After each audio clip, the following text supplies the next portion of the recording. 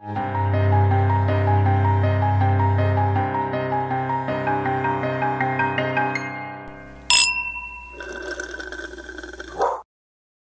right, it looks like we're recording. There's no Zoom lady to go. Recording now. recording and pro- re- whatever. Doesn't think I would have memorized her one line by I, now? I'm pretty sure she just says the two words. Recording now. No. No, I don't think so. Recording, in now. progress. Recording now. Recording in progress. Is that wrong? Eva, what does know. Zoom say? Eva, what the hell did Eva? she say? Are you Where are you? gaslighting me, Christine? I feel pretty text confident. Recording recording in progress. No way. Yes, recording in progress. You don't hear it? I'm so good at it. Well, now it's. T- hold on. Do it again. One more time. Recording in progress. Oh my god, I'm on Zoom by accident. Hang on. I gotta switch over. it sounds like we just hit record eight times and just kept stopping it, which also is entirely possible because we have done that before. Um, Christine, look at you and your little tie dye. What's the Okay. vibe? here's what's happening. There's so many things happening. I got a new wanna- all the- webcam. All the updates. Okay. Can you see me okay? Yeah. Okay, I got a new webcam. It's supposed to be like 4K and like really fancy. Mhm. Um, I don't know why, but I just was like, let's fucking up our quality. You know what I mean? So Sure. we'll see if it works. It's like on a tripod up there, but you can kind of see more of my background now.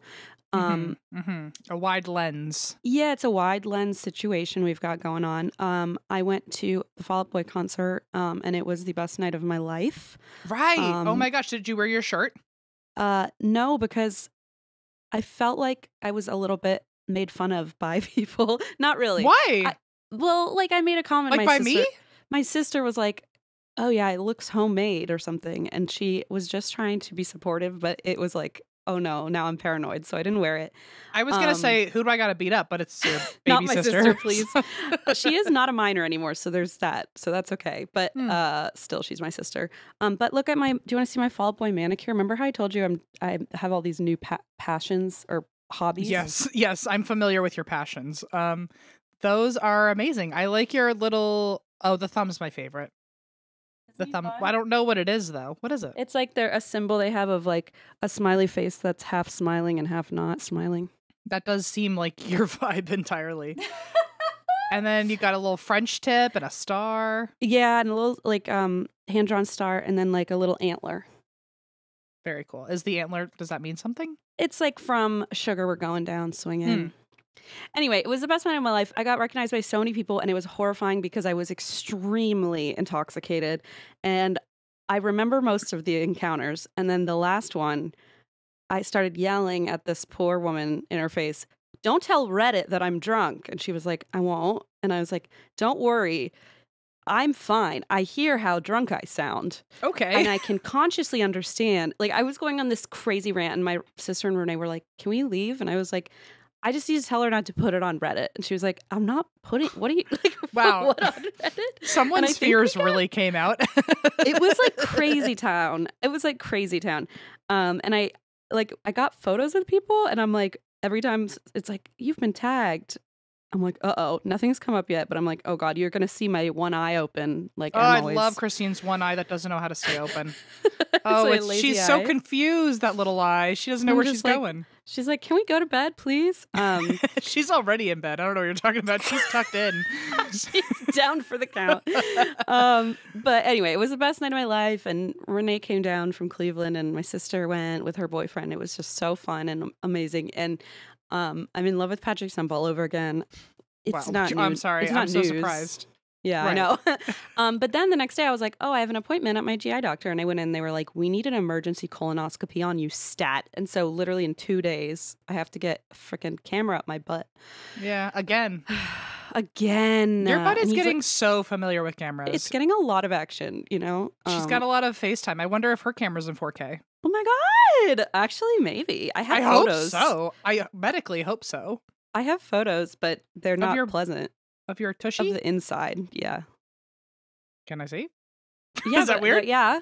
No, I think I've shown them to you before. I'm pretty sure because they were in Los Feliz with me, and I think I showed you once because you were the only one who offered to see them, and I was like, "Thank you. I Here's my here's my ulcers." Not to be like gross about it, but I do want to know. You know. Yeah, I mean, I wanted to know. I thought it was interesting. I would see your in- intestines if I. Thank if I- you. If I was offered. One uh, one day you will be offered. Just when give you're it like time. six, 45, 50, 60, whatever the like recommended age is. I'm supposed to Uh, get them now every two years Oh, for the rest of my life. Two years. ev- Every two years.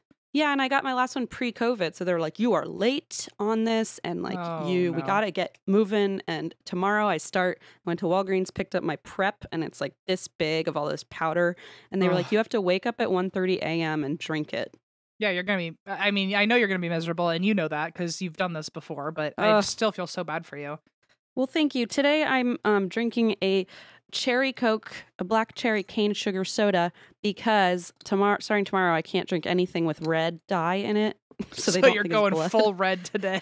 so I'm going. I'm just like eating red, which I'm pretty sure I'm also red forty allergic to. But we'll see what happens. like I get rashes a little bit when I eat a lot of red dye. okay, well we'll But find out little tonight if that. Um. Anyway, I I'm sorry. I've talked talked so much. How are you? Mm, I miss you. I miss you. I when have when did I last see a you? long time. It feels No, when did I last see you? in person. Like a, like half a thousand years ago? What? How? When yeah. did that? I mean, I can't even recall. Ah, I miss your body in the same room as my body. You know what I mean? I know that. I think that also is a Fall Out Boy line. You've been speaking in a lot of really mysterious terms. I'm ch- I'm trying to channel whatever love language you need. You know. Oh my Um, god, that is the nicest thing anyone's ever done for me. Looking at I'm- my pictures of my intestines. I just and I'm trying to create like faux Fall Out Boy AI generated lyrics and look at your butt. that's, That's, it. so good. You're so good at it. I oh, know. there actually is a Fall Out Boy line. Um, it's called uh, "Your Inside X-ray" or like an X-ray of your insides or something. So it really does seem like know maybe all they know that. they're onto something. Yeah. yeah. Um, how am I? Um, here and there. I'm really the main thing. I will evade more medical talk for once in everyone's life. Um, Uh, uh, I've had uh, a lot of friends come into town recently, which has been very lovely. But I'm also, I think, I'm just a little socially burnt out now. oh I think. I had I think it's when we're recording this it's mid July and I really haven't not had a social thing happen for a while. Um I've whatever I don't even know if I said that the right way. I know but I've mean. had um like I went to you know we had RJ's wedding. My mom came into town immediately after that. Then my friends came into town immediately after that. I just had more friends come into town. And then next week or two weeks from now, I'm heading home to be with hometown friends. I just I just want to take a nap and have no one talk to me ever again, you know? Honestly, will it be nice to be home though? Because you can like actually just like hovel yourself into your Kind childhood of. home, or is it like too social there too? no, it's definitely not too social there. I Because I, actually get revert to childhood when I go to my mom's house and I just lay under a blanket and I'm like, I'm hungry. I also revert to childhood, but the problem with that is I have I think my biggest I have many flaws to be clear. One Your of my one and only flaw. Let's all My- be real. my my least favorite flaw about myself is that I am nostalgic to a fault Yeah, and oh, I, I, do know that about you for sure. And I hurt my own feelings a lot when I go home because in my Aw. mind going home the only times I've ever gone home were for like a college break or something and so every time I go home part of me is like real bummed that like first of all half my friends don't even live there anymore and the ones that do have to work and I'm like down so you're like, it's not I'm the like same. yeah so I get all all hurt that I'm like driving through my hometown and no one wants to play with me Oh my god! so I'm always like, I don't want to tell. Well, I live here now, but before I'd be like, I don't want to tell anyone I'm coming home so that I can just sleep for many Yeah, days. I, you know, it's it's. I wonder how it's going to be this time. Maybe that's am- my biggest flaw. Well, it's not the biggest, but it's one of them. quick. This whole episode will be us just listing our flaws. It'll it's be never four be quick. hours It's long. gonna be. So, I was gonna say you said quick. That is the wrong word. Um, I it. I think this time around, maybe I'll be happy with the fact that people have to work and Mm-hmm. can't play with me because I'm socially burnt out, as I said. But usually going home. I'm I'm so happy to be home, but part of me is always a little sad because I just it makes me like miss the good times about being a teenager. So Well, that's fair. Yeah, I'm very lucky. I very much loved my hometown and my childhood. That and so that's really. and I great. still have my childhood bed, and so it's it's whenever I go there, everything feels like I'm 17 again, including my fucking attitude when my mom's in the room. By the way, That's like what I, I'm saying. That's what I'm saying. I'm already. I apologize real. now, mom, for my behavior because it's going to be crazy. They love it. They're like, no, we don't. We actually. I really know hate she it. hates it, but as soon as I'm gone, and maybe she wishes I one just more what day I'm of saying. it. Like maybe they just got to dig a little deeper and realize. As a mom now, what is it like to know that one day Leona's just going to be like, you know, have her moment where she's just a little hellish. I don't know. It's so weird because I'm like, I can't even.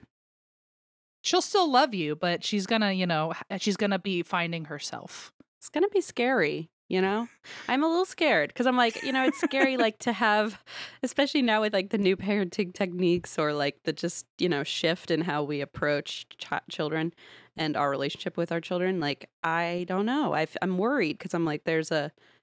I feel like there's an area to maintain of like f- independence and freedom, but also like keeping them safe. And I don't know. It seems like wild, wild west because it's like, Yeah. well, we don't know what the internet will look like in 10, 15 years. Like the thought of that is mind boggling to me. Is everything Yeah. AI? Is it not Fall Out Boy anymore? It's just R- M speaking in AI Fall Out Boy. Is it just a? Like, deep that's- fake of me as like Pete Wentz? that now that if that's the only thing on the internet, man, then uh, I don't know. Count me in.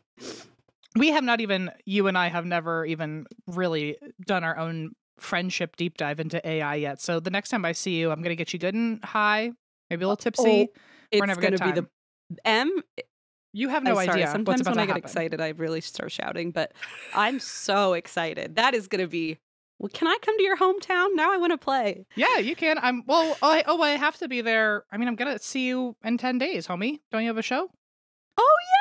Hey, I'm like, can I come to your hometown? You're like, I mean, you're contractually obligated to in It's literally like you've 10 days. agreed to. So yeah. Yeah, Um, DC baby. So that means I have to get a plane ticket. Wow. Um. Whee! Wow, worth that's- it. okay, so that's the next thing on the docket after we record.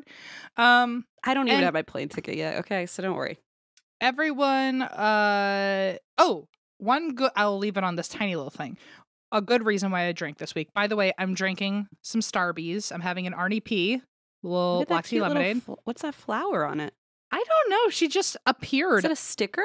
it's a sticker they just put her That on so cute. i didn't want to ask questions because i was afraid they'd take my sticker away um like you can't have that. Who gave that to you? it's like whoa i was looking for that um I was looking for my post-it note flower. anyway, having an Arnie P um on this Monday and well it's Sunday for others, but Monday to you and me. And what why do I drink? Oh, I in my refrigerator, Christine, Yes. have two caramel apples.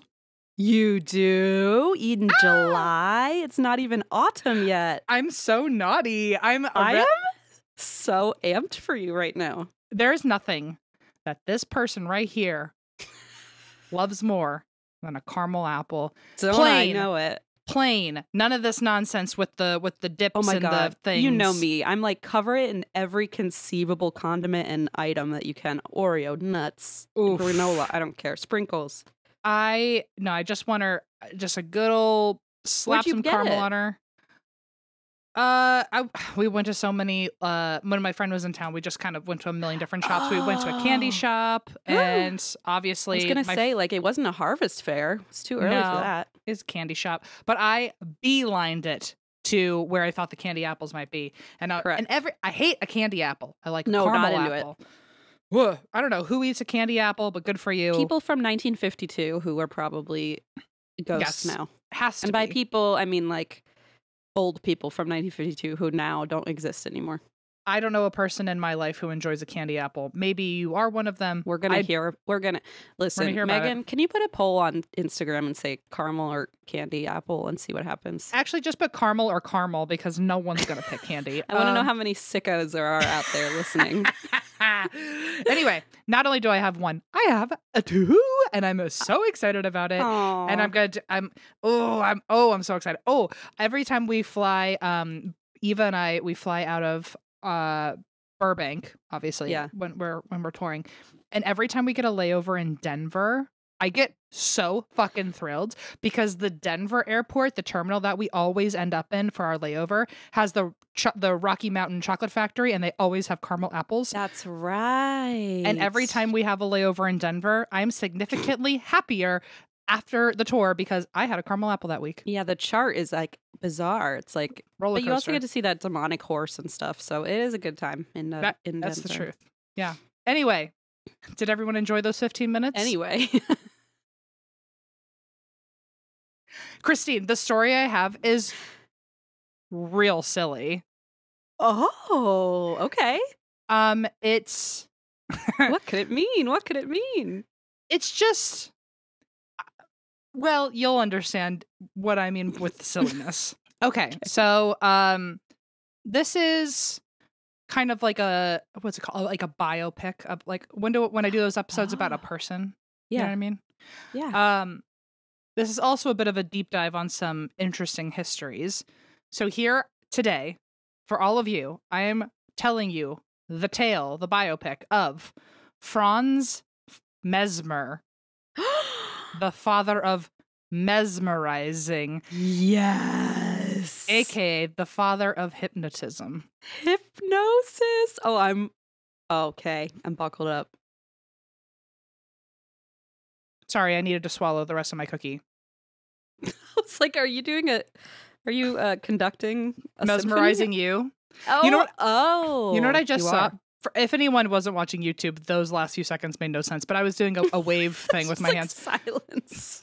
you know what? Um, I watched a TikTok recently where someone said, um, "My favorite thing about uh, older white women is when they're dancing, they look like they're casting a spell on the sky because they all do this." You're hundred percent right. That's what I'm doing every time you call me Kermit because you call me Kermit for my dance moves. What I'm really doing is conjuring some magic. You know. Conjuring- So how dare you? Yeah. Anyway, that was that's my TikTok of the day for everybody to go find. Um, what a fun scavenger hunt for you. Okay, so here's Franz, F R A N Z, Frank with a Z, Franz. Okay. Yep. You would think I would know how to pronounce it, but I am terrified every time I mispronounce something. So just double Franz, checking. Franziska, like my sister, Franz, Franz. So I am mispronouncing it. No, you're not. You're just saying it in your own accent. In my silly dialect. Mhm. So, first of all, before we get into it, let's discuss discuss hypnosis, dear Christine. Have you been Let's. hypnotized? Would you like to be hypnotized, and what would it be for, or what would you like yes. done to you? anything and everything. Okay, I would I- love to be hypnotized. I, I'm afraid I'm too like in like too like neurotic to be hypnotized. Like I feel like I would be overthinking it the whole time. I I'm afraid that I would either fully be like the weakest link, easiest easiest victim, or I would like when you say victim, like this is some sort of like true crime. like as I'm volunteering. Probably, yeah. in this in this world i'm also volunteering for it but i'm still a victim because i know i'm imagining like at one of those shows where like they make you do oh, something that is silly kind of a victim. You're balking like a chicken. yeah yeah yeah i know i either think i would totally be the easiest person to hypnotize or it would just not work at all um That's my fear. I'm like, I feel like I would be overthinking it, but I really want to be hypnotized. I know that's part of it, right? Like you're supposed to be like really on board. Um, both of, both of my parents have been hypnotized You know, we talked about that because I tried that hypnotherapy, but I don't think like I mean I've already talked about it for the phone anxiety thing, but like the first hour was just like talk therapy, and it didn't Mhm. really get to the bottom of anything. And then the hypnotherapy part was like kind of rushed, and I don't think I actually was hypnotized. I was just kind of laying Mm. there. So I really, but I really want to. I want to do a past life regression. That's what I want to do. my mom has been hypnotized uh in like on stage for a for a gimmick so she, was able would. She was down for that and then my dad was hypnotized to quit smoking and that worked and the di- and the um, water, right? Or the oh my mom oh you're right she was hypnotized for Yeah. uh I, I was it i i think that was a tony robbins seminar oh my god, are you serious? Okay, Oh, because i've told you that woman loves anthony Oh, robbins excuse oh, me I'm anthony I'm so sorry, uh, Anthony. Uh, yeah, no, I because I remember you saying like, and then she had to carry a water bottle around with her for the rest of her life. maybe she was hypnotized mom weigh in um i she it was because she was like one of those like crazed 90s moms who drink only diet coke exclusively Right. and so i guess they got her to feel like she constantly needs water and nothing else and now she like truly has a full-blown panic attack like if she doesn't slightly have water. flawed uh situation, but yeah, I yeah, get it. it it worked in the end, I guess. I mean, she doesn't really drink Diet Coke anymore, but um and then my yeah, my so if both of them can get hypnotized genetically, I feel like maybe I am predisposed to also be like available to that, you know? I'm so curious. Like I really I really want do would you ever do like a past life regression? Yeah, for sure. Do you believe that? Like believe that it would work? Like I don't know my enough fear too about is like it. what if I'm just like inventing stuff in my own head, you know? Yeah, I don't know enough about it, but I would be down to try. I would Um, love to do it. We should do it. Wouldn't that be a fun like YouTube series or something? yes, every episode we just get hypnotized to do something else. Yeah. I mean, how fun. that would be very fun and prob I don't maybe problematic. I have no idea. I I feel like uh I feel like there's a lot of people out there who kind of guffaw at hypnosis. But there are a lot of people in today's world who see it as which is I think this is where I am currently. I if there's more information I'm unaware of, then please check me.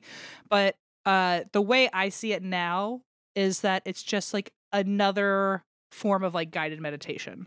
mm, mm, mm-hmm. Interesting. which which also wonder makes me wonder if I would be good at it because I'm really not I don't like guided meditation. I can't really get myself to that headspace. Yeah, it's hard. I, I struggle. I try to meditate, and I'm I'm I really struggle with it. But I know I should be doing it more, especially for like lucid dreaming and all that. But um, yeah, I wonder because I mean I know they kind of talk you into like a aren't your like brain waves supposed to change? I don't know. You tell me about hypnosis. I feel like I'm Oh, I'll tell you. taken over. So, fun fact, one of the earliest references to hypnotism was in 3766 BC. I like how I was like BC or AD, and then I was like, wait, that year has not even happened yet. wow, Um, that's pretty incredible, though. It was this sorcerer who apparently I don't know, I guess he could tell anyone that he I don't really understand. He stared into the eyes of lions, multiple lions, not just one. Mm. Until they apparently fell under his influence and they would follow him around. And I'm like, I think they were following you around for a different reason, but um, you forgot that you had a sandwich in your pocket. yeah, you forgot that you're walking raw meat to them. Um, yeah, you're you are the sandwich. Actually, good Um, point. and also, I feel like in the year 3766 BC, you could probably just tell someone that story at a bar and it not be true. But whatever, maybe it's maybe it a bar, at a tavern. Yeah. So, uh, anyway, one of the earliest references we have, and hypnotism today is usually credited to a Dr. Franz Anton Mesmer. Mm. And he was born in 1734, almost 300 years ago. And in 1759, when he's is that 25? Um, yes, sure. At 25, he began studying medicine at the University of Vienna. So, seven years later, he publishes his thesis, and it is called De Planetarum Influxu in Corpus Humanum. Imagine having to write everything in Latin. You're like, it's already hard enough to write a book. Now I have to write it all in Latin.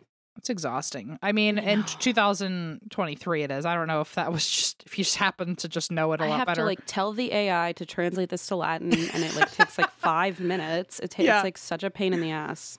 It- It's so, uh, appar- it does trans, I have the translation for us, thank God. And it is Thank God. the influence of the planets on the human body, which is oh, cool. that's really cool. It's giving astrology or something oh, like that. Sure. So Franz thought that the moon and the planets influence our bodies, and thus, if they were influencing our bodies, they could impact our health. I like that See, yes, I'm with you. You to an don't don't don't stray from that because I know the way I was. I said that you were about to back away. I'm Yeah. also down with that. I also am down with that. But this is where I feel like I have to give some sort of like almost like QAnon PSA of like uh-huh. the most insidious fringe Correct. beliefs Yep. stem from something that's easy to swallow. And then it, it very gradually morphs That's into other things. such a wonderful way to put it. Yeah. I, yeah, Because and I feel like there's it's it's a slippery slope. Not to I feel like we say that so often, but it's a slippery slope. Like to say, oh, the planets influence our health, and then it's like, well, then you st- start to stray from science or medicine, and it's like, okay, now we're getting in a dangerous zone. So I, I like it to an extent in a theoretical way so far. And keep in mind, in the late 1700s, how much science and medicine was there that we still follow today to the T? So, like, Just the leeches. Uh, well, at least for me. Interesting you mentioned that because here we go. Oh, Uh, uh, Franz thought that the moon and the planets influence our bodies and thus could impact our health. And it is a very old concept. I'm saying it as if he created this, but he was like, he wasn't blowing anyone's mind with this Sure. opinion of his back then. Um, there were many earlier historians, doctors, philosophers who all thought the exact same thing that Franz did. Um, and in the medieval era, many people also thought that the position of celestial bodies affected not just your health, but this also included your behavior and your morals. Your whole, whole personality was based on the celestial bodies and their positions. okay. This included Pliny the Elder, who said that, I'm sorry, everybody, because the brain is the moistest organ in our body. Woof. Not the Uh, tongue. Fascinating. guess not if you have dry mouth. I would have loved for you to be the one to raise your hand at his lecture. I like, would have been kicked out instantly. First of all, they'd be like, "Is she a woman and also a witch?" But then also she keeps asking the dumbest questions. the best part is he could have like been sick that day, and you could have gone up and like been his adjunct, and you would have been a witch, and he would have been respected. That's crazy. I know. So tragic how that happens. So Pliny the Elder was one of these people who thought, "Oh, the the planets and the moon are affecting our personalities because." And an example of it is since the brain is the moistest organ in our body, uh, it's somewhat like the it's somewhat like the tides. And so if the moon affects the tides, it affects th- the tides That's of always our my body. argument. To be fair, Pliny, I would have said the same thing because I've always said like, well, not the moist part. I've never said that. I swear on my life, I've never said that. But I've always said like, well, the moon's like the tide, the moon and the tide are related, correlated. We're seventy percent water No, it takes. It, something. I I was literally about to say that makes perfect sense because in my brain it totally does, and it In your moist, moist brain, it totally in my does. big, fat, moist, juicy brain. Yes. Um. Blah. I so you are not alone in thinking that and truly centuries ago people were thinking the same thing. Right. Um that our body is very much like the tides and so the planets must affect that. Um Franz was one of those people where he was like I love this idea moon's planets affecting our bodies, tides, yes, I'm down and he believed this included our bodily humors because Oh. just like how you said we're 70% liquid the bodily humors if people don't know what those are they're the four fluids that the ancient greeks swore by that controlled our body and Mhm. so if they're fluid and the tides are fluid the moon must affect our humors Right. do you know anything about the humors I know they're supposed to be in balance, and then they believe that sickness was when they came out of balance. Mm-hmm. Um, So I know there was like a lot of bloodletting and that kind of thing. Um, But I don't remember the. Is it bile? Is that one Mhm. of them? so yeah, I don't remember the other three though. there was so this was a theory of the ancient greeks the four bodily humors especially hippocrates he was down with this and the four humors which humor originally meant fluid Mm. and uh just fun fact as you said if they were in perfect balance we were healthy if they were out of whack then we were not healthy okay, um, and each humor was connected not only to our health, but each one was connected to a personality trait of ours. So oh, there was yellow bile, which made Yuck. us choleric or irritable. There's blood, which is made you sanguine or positive, optimistic, happy. So it's like essentially anger and happiness. Then Mhm. there's phlegm, which is like easygoing and patient. And then black bile, which is melancholy or sadness. These are all such gross things. I mean, blood is blood, but the rest, ooh, phlegm is a real special one. nasty. also health wise they each uh were they all were associated with a different important organ of yours. So blood was your heart phlegm was your brain yellow bile was your liver and black bile was your spleen. So if any of your humors were out of whack it could do it could have something to do with that organ that was leading to sickness. Okay, um also a side effect was if your personality changed. If you had if you were more irritable you might have more yellow bile than normal or something like excess that. bile. Exactly. Uh, and fun fact a lot of old playwriting had characters where if you look at them as archetypes, they were actually just one of the four humors of the time. So there was oh, angry cool. people, happy people, sad people, or like easygoing patient people. And the So, people- like in the writers' room, you'd ask, like, "Well, what is their motivation?" And they'd be like, "Well, black bile. yeah, That's it. It's Yeah. the motivation. they're they're sad. well, apparently a, a lot of Shakespeare's writing, if you look at all of the characters, all the people who ever caused drama were always more irritable or choleric, and so they were uh I guess they allegedly would have more yellow bile in their system compared to other characters he wrote about, which is such a weird thought. But I, there was a whole article on like Shakespeare's character archetypes and the four bodily humors. It was very Man, interesting. that guy had a lot of stuff going on. And whoever wrote that Billy- article had a lot of time, by the way. Yeah, seriously. Uh, these humors also dictated our personalities and our health, and early doctors had to figure out which of our humors were out of whack so that they could treat it. So, if you had too much of one or too little of one, it would cause illness, and doctors had to balance your humors out to get you back to perfect health. And because humors were also labeled hot or cold at this time, uh, treatments would require the opposite to bring you back to homeostasis. So, if you're it, let's say your issue was blood, too much blood or not enough blood. Blood was seen as hot and moist, Yum. delicious. I like how it Uh, was seen as that, but like it is that. Well, Like so we, we do know that. yeah, and what's interesting too, I do like this theory a lot. I don't fall for it totally, but I I do uh think it's like creative is that each of the humors also had to do with a different element so that we're all connected in the in Oh. nature. So blood is hot and moist like air. Phlegm is Okay. cold cold and moist like water. Yellow bile is hot and dry like fire, and black bile is cold and dry like earth. That's so interesting. I, do, I like I, I I appreciate the kind of creativity there. I also I'm like, oh, that's an interesting way. If someone said that to me and I was stoned, I'd be like, you fucking figured it out, dude. For real, you're lucky I didn't take any gummies today because I would be like probably making a big problem for us PR wise. I'd be like, actually, let's bring leeches back. and honestly, I'm sober. the more you say leeches today, okay. So an example of this, of like how they would treat a, a humor based on you know its defining characters. Melancholy was often seen as cold and dry. So Okay. doctors would prescribe a hot and moist treatment. So a lot of times if you were melancholy, your insides were cold and dry. Therefore, you should have a hot and moist meal, like a hot, juicy steak. Literally, beef was the cure to oh, melancholy, which can confirm nice. can Yeah, confirm steak does not make me sad ever. So, great um, point. this is also, as you've been saying, where we get bloodletting because if you had too much blood, it's- I don't know how leeches are the opposite of hot and moist, but all right, I guess they just suck Great the blood right out of you. Kind of cold and moist, I would imagine. So now nowadays this is all the four bodily humors is considered bunk science, but it was interestingly the first time that doctors actually saw illness as having direct natural causes.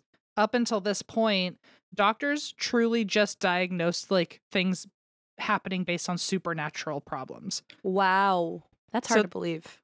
It was in the I guess well, I don't I don't know the timeline here, but a lot of people in the world of bodily humor era um that was the game changer for doctors because they actually started listening to people when they said that they didn't feel good and they didn't just blame it on the like the cosmos. Yeah.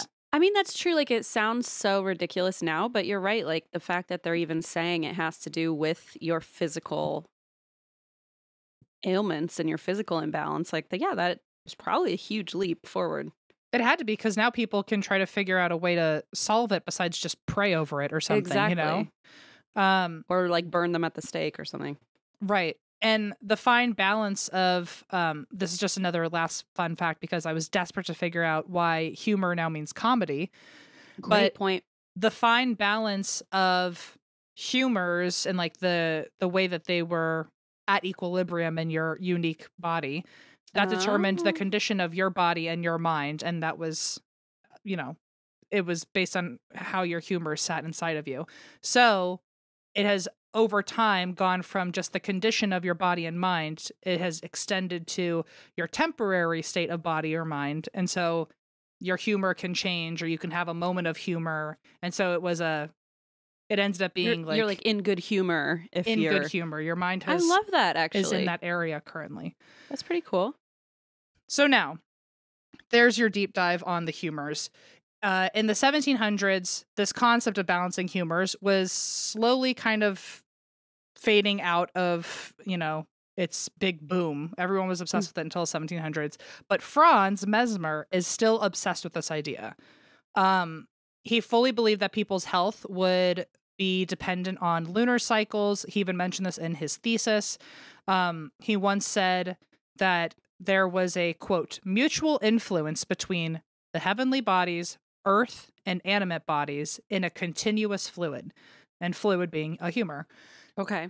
and so he thought that all these things were working together. So if all of them were working together, but if something disrupted one of them, then everything else would go wrong and people would ultimately get sick. Does that make sense? It does. Okay. So in 1773, Franz was practicing as uh, a doctor now, and he's treating this woman named Miss Osterlin. Miss Osterlin? Osterlin? Osterlin? And she, in hindsight, most likely had some sort of like seizure disorder. Um, oh shit. she was suffering from convulsions, fainting, throwing up, headaches, and apparently also had some mania and delirium. Hmm. And Dr. Mesmer was determined to fi figure out that her, or determined to prove that her body's connection to the universe had a block in it, a blockage, and that's what was causing this. Keep in mind, uh-huh. this was the 1700s, and bodily humors was has recently been all the ra- craze. So, right, right, right. Gotcha. so what he's saying at the time didn't sound so bananas. I will say, like, I again, like going off your kind of QAnon thing, like, I feel like I could almost see this in some new agey groups, like, Fully, right? Like, there's a blockage spiritually that's causing your sickness. You know, like I can kind of see where today people might still lean I into can- that a little bit. fully see like going to get like my palm read and hearing that there's a blockage in the world, and that's The why I haven't blockage. Yeah, something. Yeah, yeah. I remember when I was like diagnosed with Crohn's and I was just so sick, and like my aunts, two of them that are a little bit woo woo new agey and kind of went off the deep end, would like send me these books on like don't take medicine, like how to fix your like you're just not spiritually aligned. And first of all, it felt very victim blamey at the time. I was like Mhm. 18 and I or 19 and I was like so you're saying like stop taking medicine like y- this is something you need to resolve with Mhm. your spiritual side. And I'm like, first of all, that's very accusatory, but also that's really dangerous to be like disseminating that kind of thing. and how quickly that like it went from something that kind of made sense to you denying medicine you know like so Yeah, and saying like, oh, don't and saying it's your them. fault you know Yeah, it felt very uh targeted and like victim blamey. So I, I don't. Uh, yeah, I- I, so I do have a very kind of like personal like, connection to that yes, like a personal irritation with that specifically. and this is where like for maybe the thousandth time i don't know if i've said it directly into the podcast but to people willing to listen to me face to face also like everyone's got their own brand of wackadoo beliefs i've got my own like everyone's For sure, everyone thinks something that sounds crazy to other people totally. me included. But the second that you start using it to define a medical situation or you're exploiting Especially somebody, someone else's medical situation. you know I mean? especially, and when there's a power dynamic of I know something you don't know, and like trying to guide them towards something that there isn't any hard facts on, you know. I just uh, this I'm about I'm trying to keep myself from getting on a tangent about like keep your beliefs to yourself if like something as serious as Yeah, yeah. Like don't medicine is force them on people who, you know, especially I mean, it really can be dangerous. Like if I just stopped taking medicine and started eating all these weird mushrooms they were sending me, like Well, there's a lot of people know. out there in today's world who think like I don't need a doctor. I'm just gonna pray that it goes well because mhm. God wouldn't deny me. Or Yeah, that's God- true. God- There's also so many angles to it. Like it's not always many. like new age like woo woo, like it can be like very religious or yeah, there's a lot of angles to this that And- and, um, scary. I'm not pointing my finger at any particular belief system in this, but it's it is the point of this is it can be very a very slippery slope and Yeah. it's uh, i mean it goes as quickly as maybe if you believe in you know the cosmos and there's some power out there and celestial bodies and i mean you're listening to and that's why we drink probably at least 90% of you are have heard of astrology and shirt. have had a deep dive Look at my shirt, Gemini season. It yeah. says it Yeah. literally says Gemini season. Someone made it for us. And to a lot of people, all of us who are down with astrology think that we're a little nutso. So I mean, like we've all got our thing, but it's just it- Totally. it's so dangerous and it can be so slippery. So I just give that caveat for no reason because I don't think anyone here is pulling a Dr. Mesmer. However, I'm just saying it anyway. Dr. Mesmer was working on this woman. She was having, you know, some convulsions, which in today's world, if he pulled the stunt, it would be incredibly dangerous because she needed real help. Um, Mhm. He ju- he did truly think he was helping her, and uh, he thought, "Oh well, your body and your and the universe have a blockage, and so I'm going to repair that for you. I will create." Artificial tides to heal you because the, the tides in you are not getting access to the universe since there's a blockage. So if I create the tides for you or manually kickstart them to read the universe, maybe you will be healed. Does that make sense? Sure. I mean, So as the, far as it can make sense, yeah. yeah, so we're we're declining quickly. Okay, so um, We're So- rapidly descending. Okay.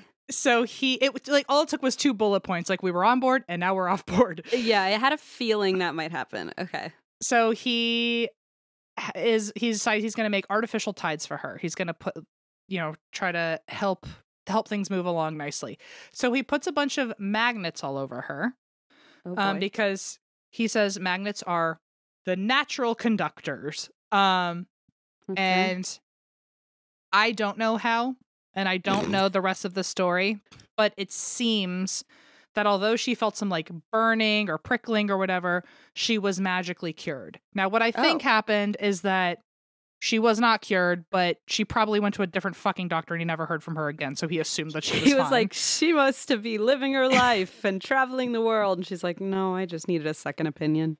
or like maybe she didn't have like a like a seizure for a while and so it looked successful you know i don't know but right. I'm going to take a shot in the dark, having never been in a room with this guy, and guess that he didn't cure her. But okay. Um.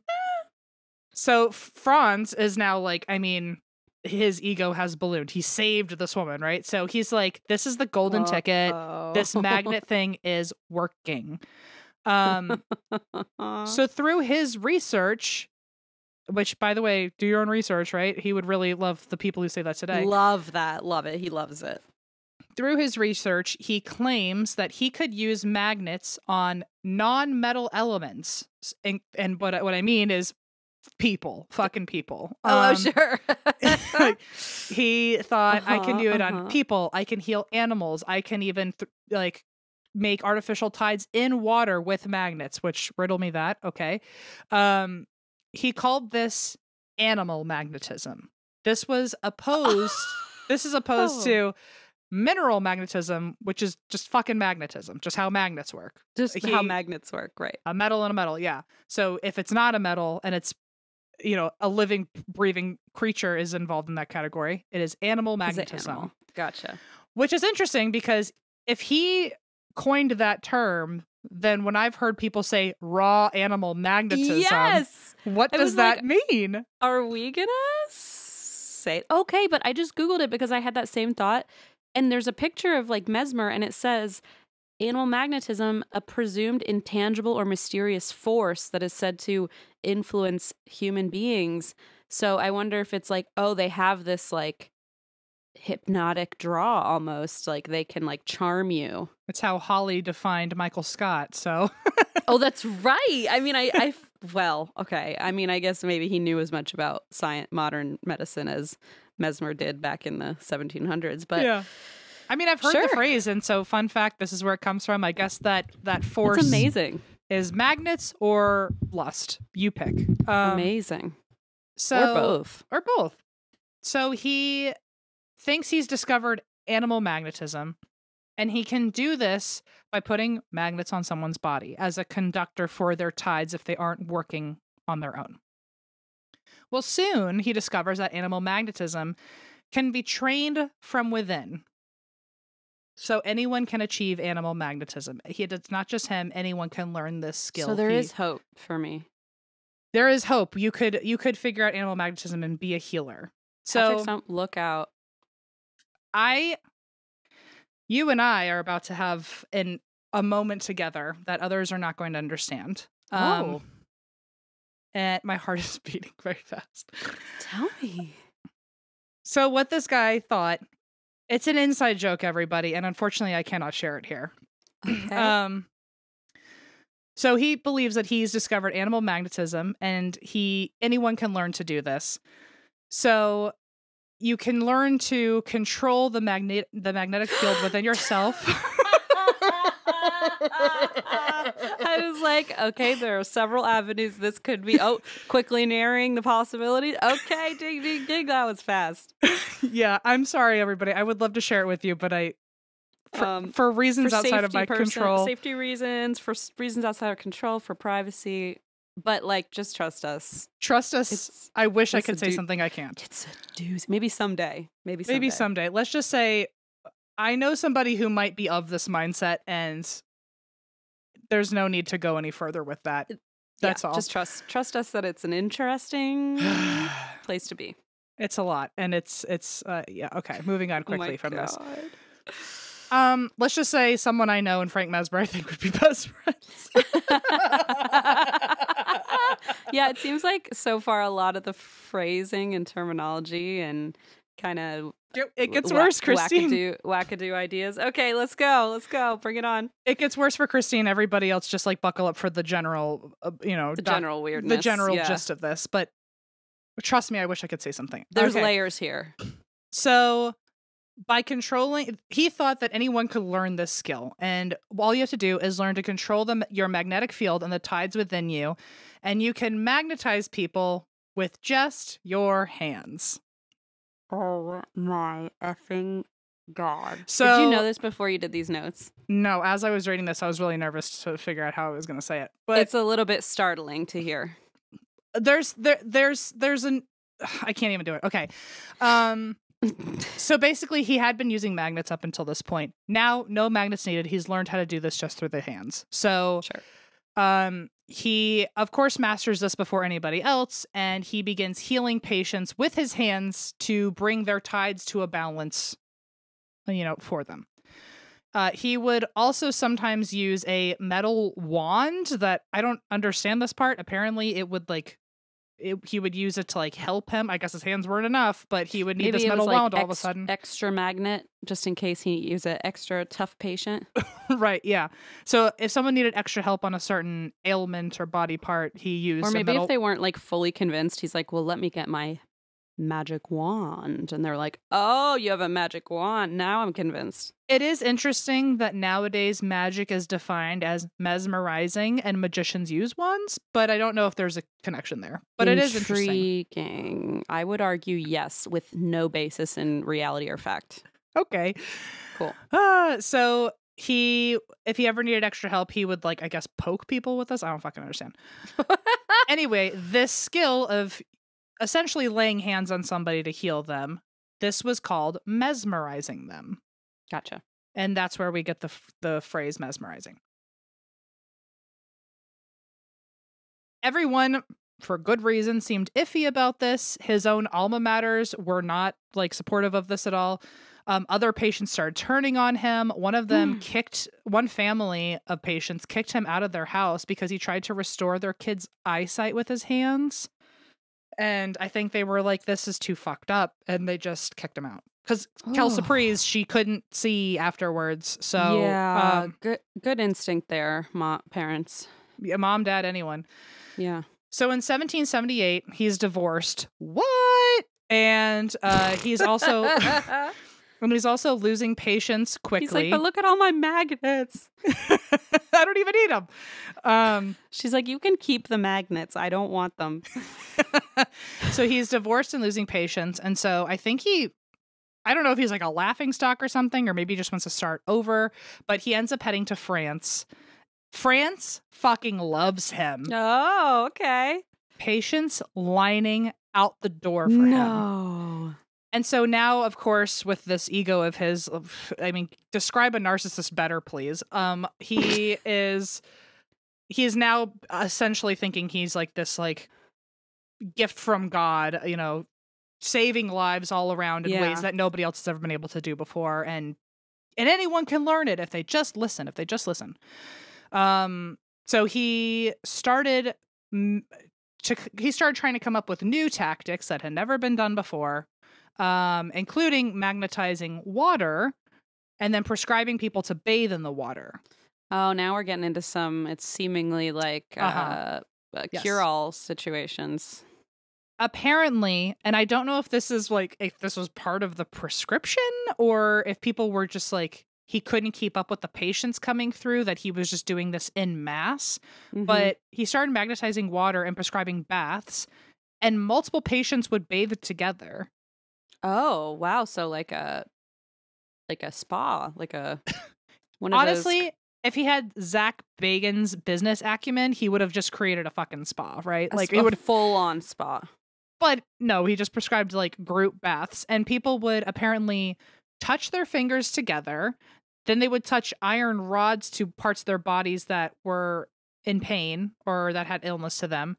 And it would magnetize their bodies and bring their tides and their levels back to an equilibrium and heal them. At some Hmm. point, I can't help explain this to you. Like, it just becomes, it doesn't make a lo- enough sense for me to to really help. devolve. Yeah, yeah, yeah, Uh-huh. yeah, yeah.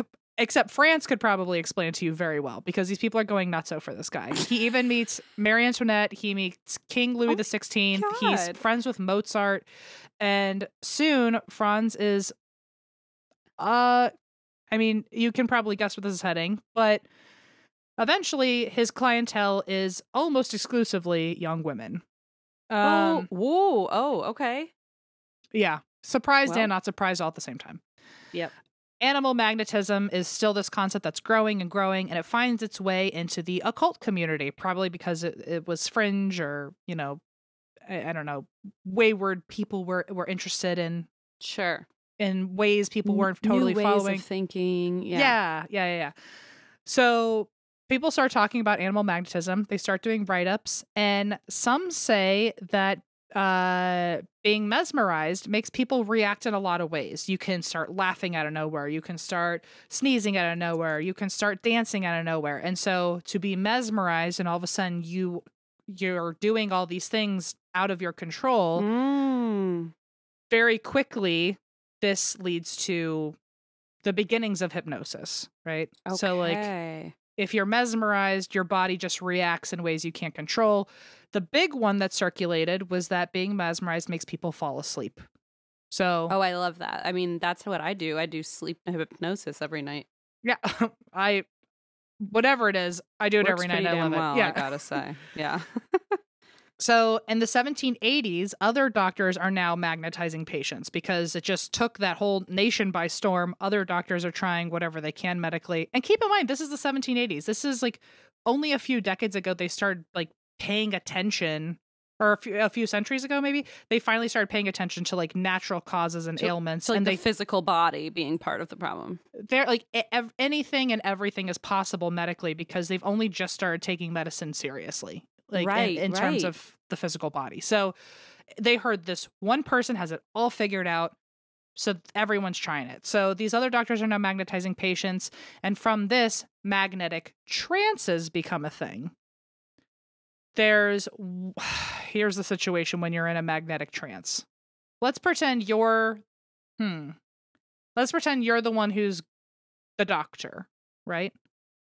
Sure, that's easy for me to pretend. Okay. so you're the doctor, you know, in quotes, obviously. Um, but there's a doctor or a guy, he is known as the master. Gross. Oh no. Oh. Um, and he's the person who knows how to do magnetic trances. He's the one who can make people fall into a deep sleep. Eventually, you're trained so well that you can fall into a deep sleep, or you can have someone fall into a deep sleep with just one touch, similar to hypnotists today. Mm. And this deep sleep that you're putting someone in, when you put them in this deep sleep, it is a trance that they called being in crisis, which I'm always there. Wake me up. Wait, yeah, I was like, isn't this supposed to help me out of a crisis? So it's it gets confusing, which is why I tried to like give you a, a role to like pay attention to. So if you're the master, your whole job is to put this other person in crisis, aka Sure. a deep sleep trance. Okay. Uh, the in crisis person is still mentally active, but their body is asleep, similar to being hypnotized today, and they can only be woken up by the master's voice. Easy enough. Cool. Now, even though that's essentially hypnotism today, this was one step kind of removed because the person that was in crisis was called a clairvoyant. And a clairvoyant then is different than what a clairvoyant is seen as today. So a clairvoyant was the person that you're hypnotizing, you're putting in crisis, and they had a supernatural ability where while in a trance, they could see into bodies like a human x-ray. Okay. I'm I know how QAnon this sounds. I'm so sorry. Um, no, it does. Yeah, I mean, I think we can all agree for sure. So, Master hypnotizes the clairvoyant who has this gift that, when in trances, can look into bodies and see what's wrong with them. So, essentially, it's like the nurse to the doctor. So, Okay, so they're like the assistant almost. The Like not to say a nurse is an assistant, but like they are in this Yes, scenario exactly. like the the second in command like Yes, exactly. Okay, got you, got you. so if you were to put me in crisis, which you do every fucking Sunday, I was gonna way. say Um, if I were Okay, you're the master. I'm the clairvoyant. You've put me in a trance, and now I'm looking at the patient you have. And while I'm in a trance, I'm able to see, like, okay, so something's wrong with their heart, something's wrong with their brain, something's wow. wrong here. So you're like the vessel that like can then tr- communicate that. That's fascinating and bananas. So while in crisis, while I'm in crisis as the clairvoyant, you, the master, would have me go looking through your clientele of sick people. I'd run my hands over them to find their illness. And eventually you would wake me up, ask me what happened. We'd put a report together and you would treat the sick people accordingly. Wow. And the clairvoyants, when they would wake up, they would say they couldn't remember anything. They were truly in a trance. Um, keep in mind, this feels really like a huge gimmick to me. I mean, obviously, in a way, but like, I feel like if the clairvoyant doesn't even remember what they said, sure. how are they accurately reporting what they saw unless the doctor is just putting someone in a random trance deciding on his own what's going on and then wakes the eh clairvoyant up and goes oh you told me all this stuff and feeding the yeah yeah yeah yeah yeah that seems shady It's a really weird- further explanation it's really weird power dynamic of like i'm letting you feel involved but i'm just deciding without having done anything or you having done anything what i'm going to do to this patient. It's just and like you're not weird really involved. You're just like a tool for me so yeah it, it feels like a weird extra step when like you could just say like it does. I wonder why he didn't just well i mean maybe he really was getting them to say things. Well otherwise i don't see why he he would do it uh what time is it? It's time to worry because um a lot of a lot of sources say that Oh, wait the- my alarm hasn't gone off yet. It goes off every 20 minutes. Okay. But so don't worry i'm always ready to worry. Sources say that the best clairvoyants were young women. So chances are he was okay. you putting these women into trances or putting them into a deep sleep doing whatever he wanted snapping his finger waking them up and being like you were such a big help like Ugh. helping me determine what's wrong with my patients. So Oof. that could be another thing that happened. A little uncomfortable. Gotcha. At any rate, more and more doctors are becoming masters of this ability where they can put clairvoyants into trances to help them. They believe that this happens because their patients or their clairvoyants have a sixth sense in their solar plexus. And when we're in a trance and our usual senses are not activated, the solar plexus goes into hyperdrive and can see and hear things you normally can't. It's like the soul essentially becomes more active, I guess, and that's how Mm. you're able to see things in a You, like, trance. or- open a channel that you usually can't access. Exactly. Okay. So eventually, this whole concept spirals more and more, and doctors think that they can train their animal magnetism not just to, it's kind of like they're cutting out the middleman now. So not only originally they were um, putting clairvoyants into a trance and then i think they realized that's one step too much. We're hiring extra people that we don't need. Snip snip snip. Cut the middleman out. I can actually just do this myself. And so i can put myself into i don't know if it's essentially a trance but you can train your animal magnetism to feel others illnesses essentially like an empathy skill Okay. and I mean, I have to be honest here. Like, this is where I get a little like, eek, because like, this is I- where Well, specifically me, because I feel like I Oh, have done, oh. have like studied Reiki and gotten like th- through, I think, three levels of certification. And so I know like this probably kind of goes into that. Like, oh, I can feel where the pain is and adjust it. Like, I can see where the problematic stuff can kind of start to. So I don't know. Maybe I'll do a little self analysis later and uh, think. well here's it. my here's my favorite thing specifically about you because uh i feel like oh, I love this segment. it happens once a week folks um, it happens like actually it happens like once a day. I was gonna say never, but then I was like, no, M's always saying nice things about me. I feel like one of the least attractive qualities in the like um like spiritual industry or field or Yeah. whatever or in the community is when I'm I want to learn more about something and I'm a willing volunteer and I go somewhere and I I am agreeing to a service Right. and I can tell right off the bat that it is not genuine or it is not authentic and people are exploiting me and Yeah, my sure. curiosity. One of my favorite things about you is anytime I've ever asked you to do Reiki or Akashic Records for me, you go on this like 20 minute tirade every time where you're like, I don't know if it's real. Whatever I'm telling you, take it with a grain of salt. okay, I'm trying I my le- okay. best. That's And- fair. I do. You're right. I do. And I, and when I do Reiki, also, I always ask for permission and say like, oh, listen, Oh, this isn't meant to like heal you. I just it's something I'm. I don't know. I'm literally your best friend, and you ask my permission like 10 lawyers are in the room. like, you are so scared of anyone reading your intentions wrong. Uh, yes, and- that's exactly it. And Yeah. so I think the difference, I think just like how you said, like there's levels to all of this where we can Mhm. see things going on in today's world happening Mhm, here. mhm, mhm. I I fully am a believer that intent and uh Fair. and directness and are transparency like fully- to be full transparent enough yeah and to not say oh forget medicine and science do this instead like i would never suggest someone do reiki and not follow up with their primary care or their doctor like that is not my intention no you know? i i mean i also this is just like like a, a preferred interest but if i am going to do any spiritual work with somebody i love when they're this i eh, please understand how i'm saying this. I love when they have a chronic illness or like understand like there's there's a need for true medicine on top of what we're doing and there's yes yes. there's like a, an appreciation for an appreciation yes. for the yeah not like i love that you're chronically ill. Like you know? Not like the closed-mindedness. Yeah exactly. Like i appreciate that there's people out there who are thinking like i am literally i have 10 doctor's appointments this week but yes let me definitely do an akashic reading because at the very end of the day it could be fun but yeah you know or or or it could just be I be know, random i don't know blip i think i think your your worries about being clumped in with them it is not worth Okay, I appreciate that. I appreciate that. I yeah, thank you. um because these people are saying i will cure your blindness you know like oh it's gosh. which like first of all you don't even, you shouldn't, you shouldn't have to cure that like it's, Yeah, first of all, yeah, there's, there's- a lot again, layers, layers, layers. It, but for so many for so many people of this time, especially in a time when let's get into it, folks, with the patriarchy and the power dynamic of a man who can only be a doctor, a man telling you what's going on. If you don't come back to him, he's probably going to assume that it was just a success and he healed you.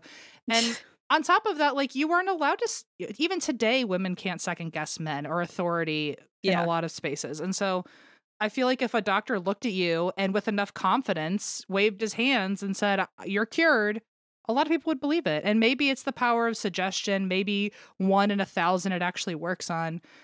Uh, But, you know, it's. Anyway, I'm going off on my own tirade. Sorry. no, everybody. I'm I'm with your tangent. I just don't want to extend it in a whole nother direction. So keep No, I'm- shut. I, I'm trying to keep my mouth shut, and yet I am hosting a podcast right now. So It's very um, hard. It's very it's hard. a tough, a tough cookie. Anyway, doctors not like Christine in the spiritual realm. Uh, they're all now be deciding that they're empaths and they can, which is hysterical to me that, you know, just like in such a power dominated space, they're like, oh, now I'm an empath and I can I understand. love when people decide they're empaths. I think it's very fun for everybody. exactly. Exactly. So now they're like, we don't need the magnets, we don't need our hands, we don't need clairvoyance. All we have to do is just like sit with ourselves and we're empaths and we can just feel what's wrong with you. And if you can feel how your patients feel, then you can diagnose them more accurately. The irony. And this is apparently called doubling. So soon, doctors said that they could go into trances. They could double without even touching somebody to, you know, make anyone fall asleep. No need for clairvoyance. Um, and they could just connect with another body's magnetic fields and tides and diagnose them immediately. So very astral vibes, right? okay. Soon, people are choosing to put themselves into trances to connect with others, and this morphs into medium work. So it's almost like the clairvoyant decided they were going to go get their own job. Um, Yeah. uh, there was one actually named Mademoiselle Gilbert Rochette, and she was able to go into her own magnetic sleeps where she would communicate with spirits and angels and all this. And this, again, seems woo woo, but how many people out there are mediums who can connect with spirits? Like, and people I Yeah. back and believe too, by the way. Like, I'm not saying Yes, mediums are all woo woo, but to your the point that you made earlier, there are some people that just exploit the community. So Totally. take it what you will. Animal magnetism stays popular throughout the 19th century, and masters during this time uh, start writing out some best practices, finally. And do you want to take a shot in the dark? Uh, what it takes to be a master who is able to be an empath and do trance work and heal people? You probably have to pay like um 65 installments of 9.99 and get a mail-in certificate. I don't know. uh, Correspondence school? even better and even less surprising, you have to be a man. Oh. You have to be 25 to 50. Oh. Uh, you have to be in good health with Oh. uh with can you believe it? A lot of self-confidence. okay, so I'm none of those things. Let's be clear. gotcha. Not one. Not a one. So over time they start saying that uh it's a master's will that influences magnetic tides. So now they're essentially God, right? Like they're okay. doing deity work, it seems. One guy named Kluge, uh, he starts looking into mesmerizing and even defines them by stages. So now there's stages of mesmerizing you can get as a patient. Um, so stages one through three, I guess easy to hard, whatever. Um, those stages one through three are when you can influence a patient's tides and they will feel side effects of it, like uh, sweating, drowsiness. They'll maybe feel like their skin, like a little rash. Then there's stages four through six, where patients will seem alert during this, uh, during their doctor appointment, but they're essentially hypnotized. And this is called sleep wake, when you look awake but you're asleep. Okay, so you're like Kind of like you hypnotized. Hypnotized, like at, at a hypnosis show when everyone's sitting there and they look totally fine, but they've been hypnotized. They're look they're acting weird. Okay. but they're acting a little odd. So to be able to sleep wake, it actually took a patient many sessions to master that skill, and it even it took even more time for them to be able to remember what happened while they were asleep.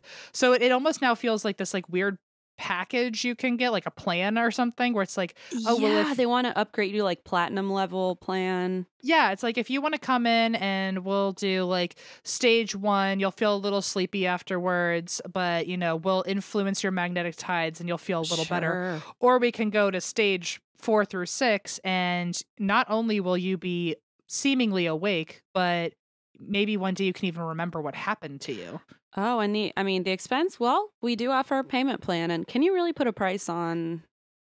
and know, since we're in the states the insurance is just not going to cover it oh, certainly not. What insurance? Let's start Right. there. Okay.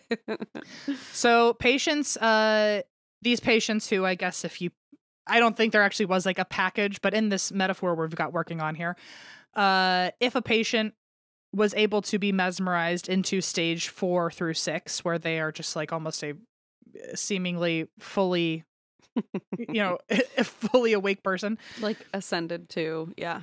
they could also learn to stomach see Huh? which is when this so weird. I don't what a weird thing.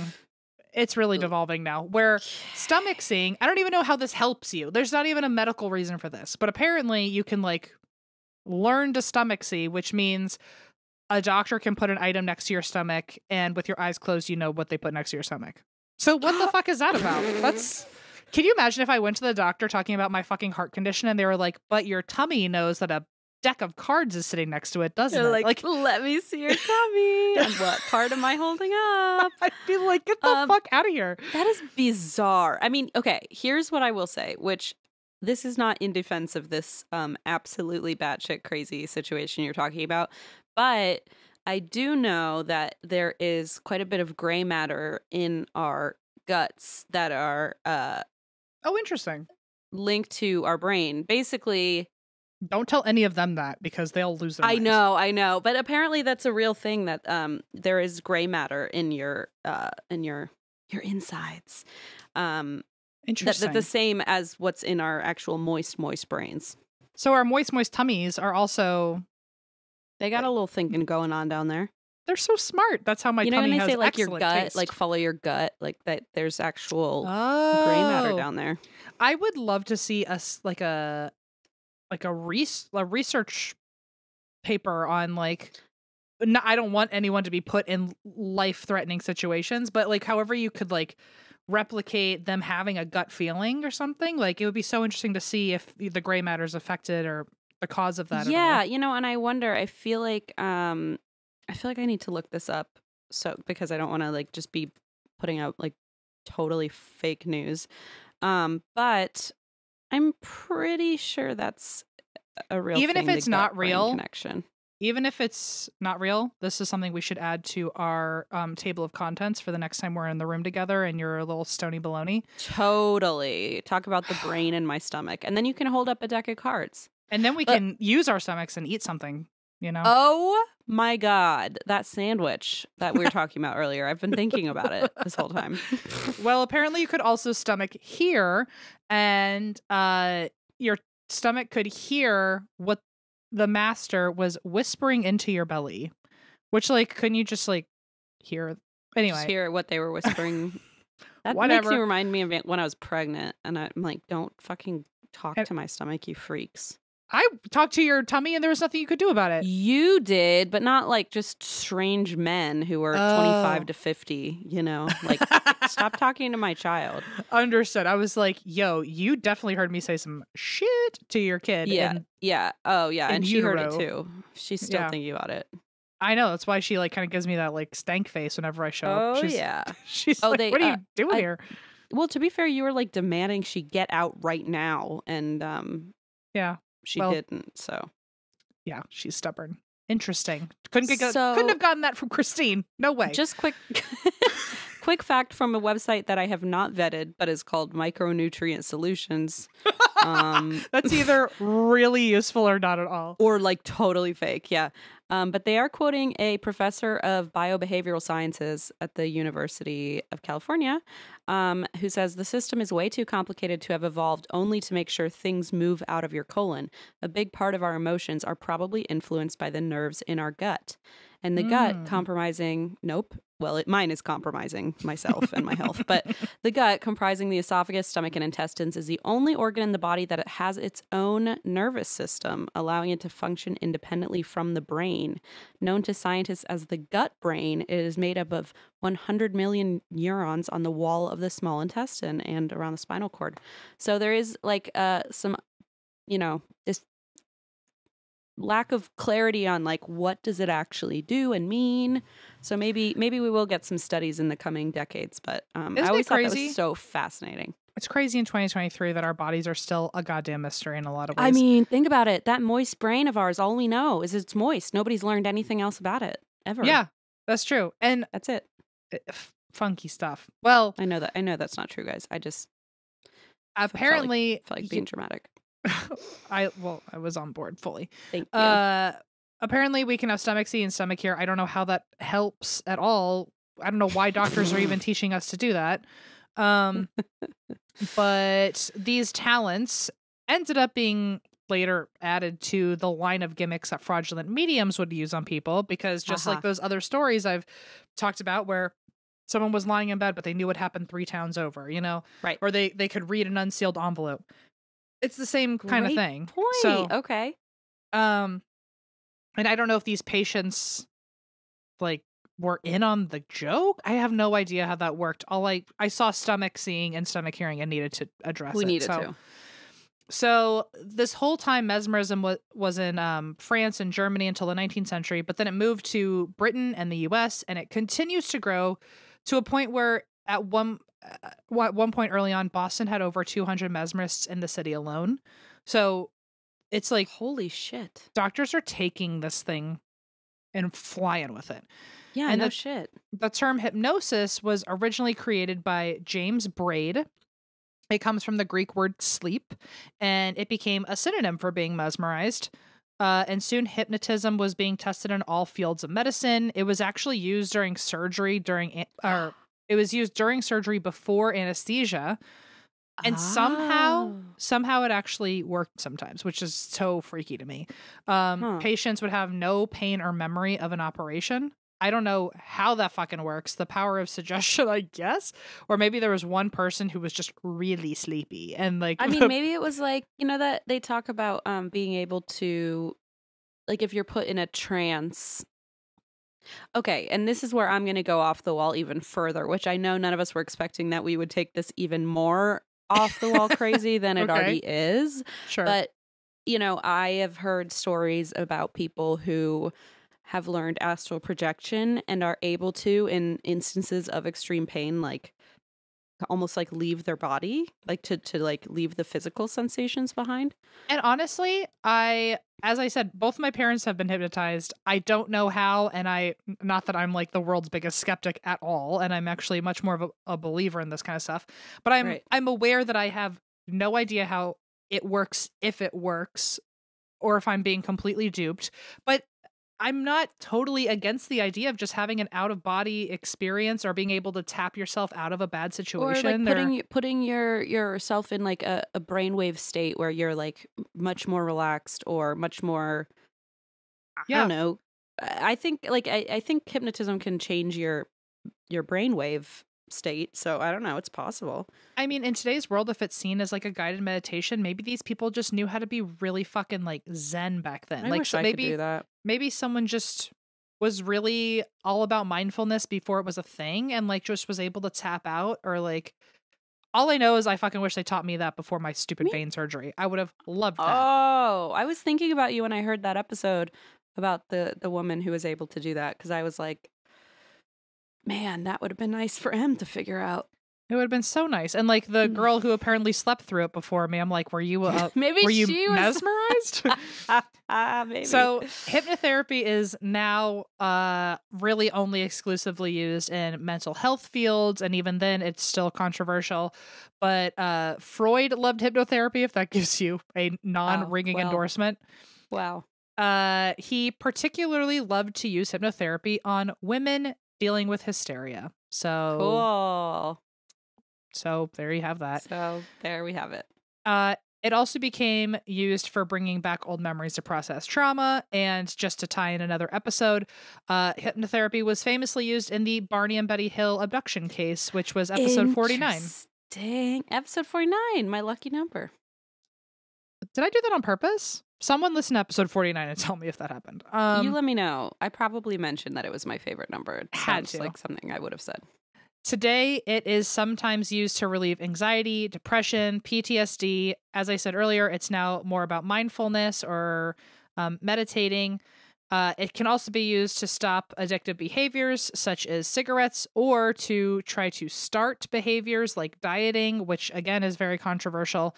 And it is suggested that if you're going to use hypnotherapy for anything like dieting or things that could, you know, be damaging to your body, um, it's best to improve your perception of your body versus having someone hypnotize you to do an action on your body. Yeah, yeah. I mean, 100%. So P- PSA fully like we're not saying go get hypnotized and do a crash no. diet.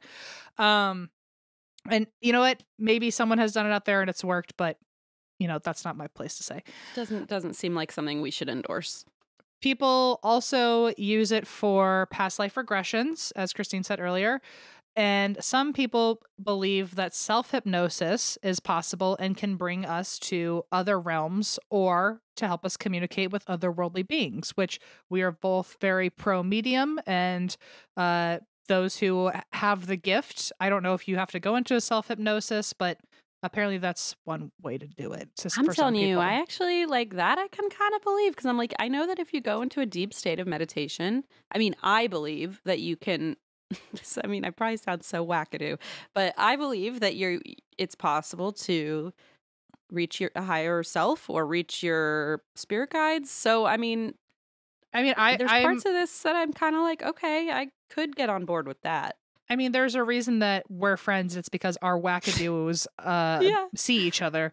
but they see each other and they hold hands. I mean, I very much uh, am on board with you that I think, again, I this is I I find myself labeling hypnosis or whatever you know trance work is as a type of mindfulness or um, a good intentional spiritual communication or in a trying to do like self work on improving yourself or ascending in right, some way right, right. whatever it is, I feel like if it's done with good intentions and you really are trying to respect the process of it and you're not exploiting people in the process, Yes. fucking go for it. Like if it works for you. Absolutely. If you feel safe and comfortable and excited to try it, why not? You know? And uh I don't have to tell anyone here because you're already listening to, and that's why we drink. I, but if you would like to learn more about hypnosis, there are plenty of sources for you. Lots of books, lots of all sorts of good stuff. And if you have a, a hypnosis story you'd like to share, we would love to hear it. So Oh, Wait, actually, folks, if I would love to hear, yeah, can we request that maybe Yeah. for um not August 1st cuz apparently we're recording that tomorrow, so that certainly won't, won't work. Um but maybe for uh for September. Yeah. Um, and just if you would email us your hypnosis stories, we would love to hear it, and we'd love to hear how many of them are successful and how many of them are not. And if you've got a hopefully I'd love to know also like what the Good story. experience is like or like if if you um if if it worked on you, if you felt like it was effective for a certain reason. I, Um, I mean, I selfishly, I'd love to know. I also do think that um, hypnosis is. I, I I've never had it done to me, but I like to believe that it is a helpful tool in the world of processing trauma. Um, and so Absolutely. I've never I've never done it, but a lot of people with the right said provider, with the right provider, I will say. Not with a Dr. Franz Mesmer. Um, Or not like your YouTube. I mean, I know you I- Right. I've done I've done YouTube hit like self hypnosis, which is pretty cool. Um but I, I didn't will even say know like that I was a don't thing. Oh my god, I've done a a self hypnosis past life regression, but I was about half an hour in and I was like, I swear to God, Em, I was like in it, and then Geo started barking like crazy, and I don't think like my heart like fell out of my into my butt. I was And so you, but you can just wake up out of it if you need to. Yeah, I was so startled that I was like, God damn it! And now every time I want to do one, I'm like, Geo's just gonna bark again and scare the absolute shit out of me. So Hmm. one day I'll do one, but I've had friends who've done them on YouTube, like with with some success. So you know, I've had I've know. only known one person to do hypnosis as part of their trauma work and oh, interesting. and they said that it, it did help. I don't think they I, I I feel like m- movies have really ruined our perception of what hypnosis looks like, Yeah, but it seems like they were just really relaxed and able to just kind of tap into things that they're usually building walls up to and yes, um so it was it, if it's helpful for you in that way too i would i'm not in, endorsing it to like go do it but if it feels like something you would be interested in in trying for yourself then And it's Uh, available like to you. I've been I've been doing um some trauma work as well, and the counselor I'm seeing uh did a hypno regression on me, and I guess maybe that was hypnotherapy.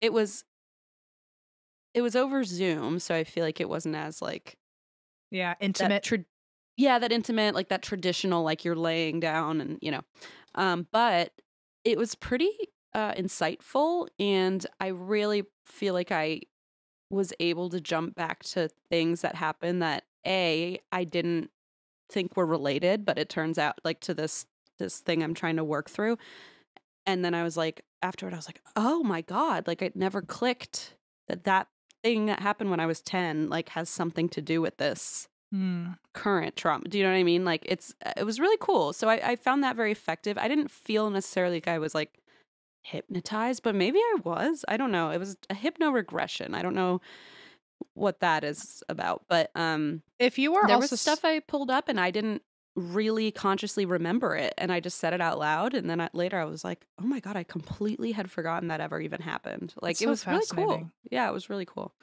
It, also, if you happen to be someone who has, like, if you're on the other side, if you're the Oh, yeah. hypnotist, I would love to oh, know if please. if I either mess something up or if there's more to it. Because I'd love to know if there's like levels to this. Like, Absolutely. is there like a light hypnosis you can like test out before you like really agree to like a full in depth situation? Like, Yeah. Is, is there like best practices that people should look Yeah. for or try to Yeah. follow? I mean, I'm I'm also like so intrigued by this topic, but I'm like you where it's sort of like kind of new to to me. I don't It's- know too much.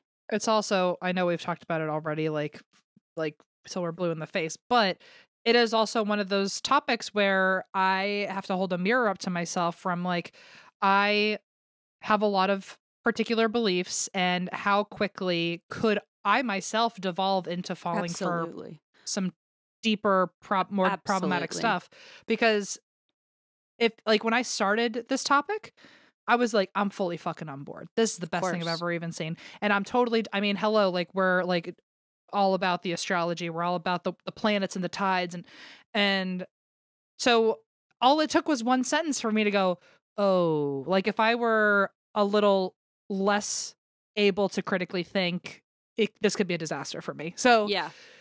anyway, I um just another PSA that please be careful out there and if you are someone who is practicing medicine on people and it is not a documented medicine or documented practice and others are maybe not uh, very proud of it or are scared of it or are unsure of it or they can't go for second opinions easily maybe second guess if you should be doing it you know Yeah, yeah, or steering them in a certain direction. Um, yes Yeah, I, that's a great point. Um, it's kind of a it's a lot of a lot of landmines to walk through. You know, it's like It's a dangerous episode, everybody. I'm trying real hard over here to I mean- s- to make sure I'm making my points clear. we've definitely covered more. Um, what do you call it? More um, loaded topics for sure, but this definitely does kind of um, kind of edge on onto the the the scary QAnon type Yeah. stuff. So Maybe everyone So- do a little self work and just make sure that we're in tip top shape when it comes to just analyzing what's around yeah, us. yeah, I think that's the best way to do it. Just keep your eyes open, unless you're being hypnotized, because then maybe you have to close them. I don't know how it works. closed. Uh, anyway, please take me away before I get on my soapbox again, Christine. um, that was a really good story. Thank Um, you. that was really good. I like I when you said it at first, I was like, haven't you covered this? But like, no, I think we just talked about it on rituals a little bit, but like Mhm. never really delved into it. So I'm I thought you did a great job. It was uh I I don't think I've ever covered a hypnotist yet. I also would like to cover our favorite, Mr. Crentist, Creston, Oh, whatever name- Crentist. The, the great dentist. the great Creston. Kermit? Oh, Creston. Um, like I, I really can't get it right. Um, Kremit. I never mind. Okay. Uh, like I'm. It's starting to click that all of these sound way too It's- similar. No, Creston, Crentist, Kermit, then Christine. and Kremit. Oh wait, did you that? and say Kremit. I don't even know. okay, so I am very excited about this topic. Um, it is one that I've been ho- hoping to do for months, maybe years. And a couple months ago, Eva sent me an article on Medium. And I want to give it a shout out because, first of all, like, I'm like every other uh, embarrassing. I'm I'm like every other millennial in the embarrassing way that sometimes I will like see a news article and I'll like kind of skim it and then be like, "Oh, I read this article," you know? Okay. But this one, like I fucking read it. Like I sat there probably for 45 minutes to an hour and like really like dug into all the details. And it is an article on Medium by uh Kyra Dempsey is the author. And um And so Kyra Dempsey is actually an analyzer of plane. Oh, I haven't even told you this topic yet, huh? Okay. I have no idea what's going on. I'm so sorry. Okay, let me tell you what we're covering today. We are covering the disappearance of Malaysia Airlines Flight 370. oh, excellent. Oh, yeah. And okay, I'm so glad because I don't know enough about this and it's one of those topics that I have always kind of smile and nodded with people and like hope that they just stop talking about it before I look like an idiot. Yeah, and it, it happened during a time we were probably we were like I don't know in college and grad school, like trying yeah. to work, trying to but like didn't have cable, didn't have nice internet. Like we were probably just out of the loop, you know. Uh, at least that's what I tell myself. But it is something I'd always kind of known about on the periphery and always been really interested in. And so when Eva sent me this, uh, she just like knows me so well. She's like, "Oh, I just read this interesting article," and I was like, I didn't text her back for like almost an hour, and then I was like, "Oh my god, I just read the whole thing. I'm obsessed." And then I sent the article to our researcher and said, um, "Let's fucking cover this." Like I- I'm, I'm really amped about it. Um, and the, the reason I brought up uh, Kyra Dempsey's Medium article, that's the one that I read, and uh, uh, according to her uh, bio on Medium, she is an analyzer of plane crashes. Holy crap. That's a very specific but important job. And can I mention too that like I didn't know that when I read this article, but I was like, damn, this person is doing the most in-depth and comprehensive and like able to understand for a layperson job at this uh-huh. article. and like of course now I'm looking at it, I'm like, oh, of course they they do this for a living. Like, but that just adds more Right. credence to this whole article. I, I think she did like an incredible job. So a lot of the information comes from that. Um, but there have been like some documentaries and other things. Um, I listened to a podcast called uh, Black Box Down, which is just about true crime in the sky. And I was like, I can't listen to more it. than one episode of that because I think I'm going to freak myself the F I was out. gonna say that's a bold move when all we do is fly. right? That's I- know. crazy. I know. And sometimes I do venture into that space when I'm feeling brave. And then I'm like, why am I doing this to myself? I leave tomorrow. Brave or delusional? Brave is the incorrect term, and you are correct to call me on that. So not brave, just like feeling um what's the word? Feeling um like caution throwing caution to the wind, like really just not thinking about the consequences. when you're in your hammering curtains to the wall era. That yes, when I'm in my justice for leeches era, which I have entered, um, and probably which I will remain. Uh, God, I'm of. I just got used to you guys liking possums. Now I'm gonna have to deal with this shit. It never ends. Ah, okay. So let's get into it, Em. Malaysia Airlines Flight 370 was a regularly scheduled international flight on a passenger Boeing airplane, specifically a Boeing 777 200ER. E Now, a lot of this info, you know, has been broken down and, and kind of written to be understood by like the average, you know, non aerospace expert. Uh, like you. like me and you. Uh, but I'm hoping just, I guess, just let me know if you're like confused by anything the way it's written because I, I, it, I hope it makes sense. But if if something's Also- confusing, tell me. Thank you. I will. I also want to say then because I, without even knowing what you're about to say, Mhm. if you have to make that kind of claim, I know the mental gymnastics you've done in the last few days to figure it out for yourself was crazy. So Oh. congratulations, Well, and I'm proud of you. No, you know what's so funny is I was like, because uh, our researcher Molly Ann did, you know, did like the the main core set of notes, and of course, like I knew the story already because I was I had read this article, but then I was like, I need to like reread this article just so that I can like like today, just so I'm like really prepared and on it because it, it's been a few months since I read that article. So uh, Medium has this thing on the app where they'll where you can listen to the article. So I was like Mm. running errands and listening to the article, and I was like, oh my god, I was getting all fired up all over again. Um, so yeah, there and, and I will say it's probably because Kyra Dempsey is so good at being able to write it in an, an easily understandable way, but Sure. there is a lot of terminology and a lot of like moving parts. So tell me if anything is confusing. Okay, I will be calling myself a an aerospace engineer at the end of this. And just so honestly, I will sell you sell you. I will sell you a certificate. I was gonna say send it, but I'll probably sell it to you for a price nine ninety nine over the course of the next. highway robbery. Hang on a second.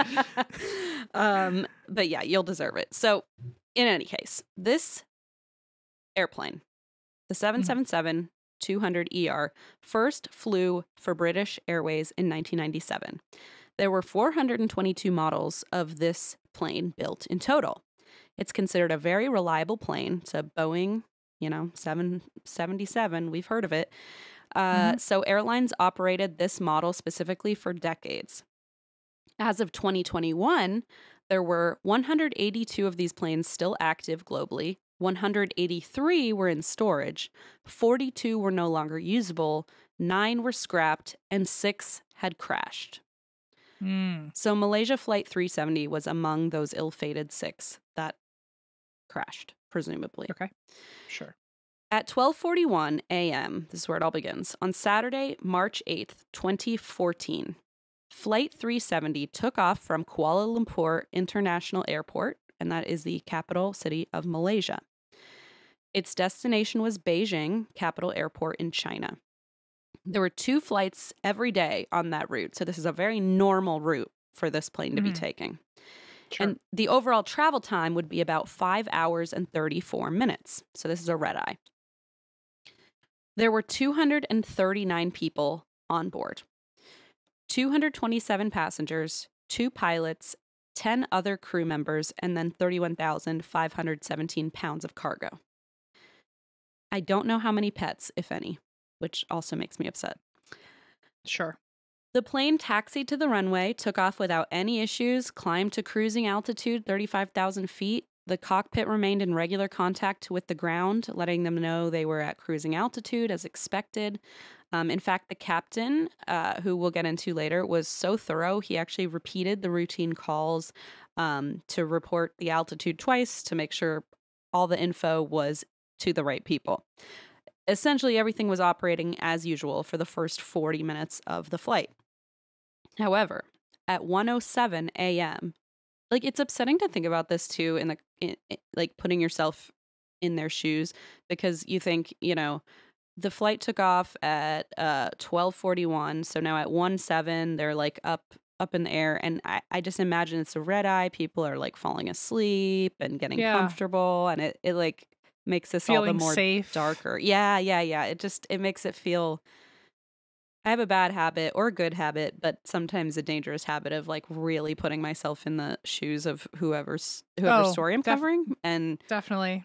you know, it's good and bad. Also, well, that that time frame is really like right when people are starting to calm down from the jitters of travel. yeah, and they're from like, the okay, bumpy like everything's okay. We're, we're, smooth, we've plateaued, like we're, you know, Hmm. lights are now off. You know, it it's just it makes it a little more um it hits home more.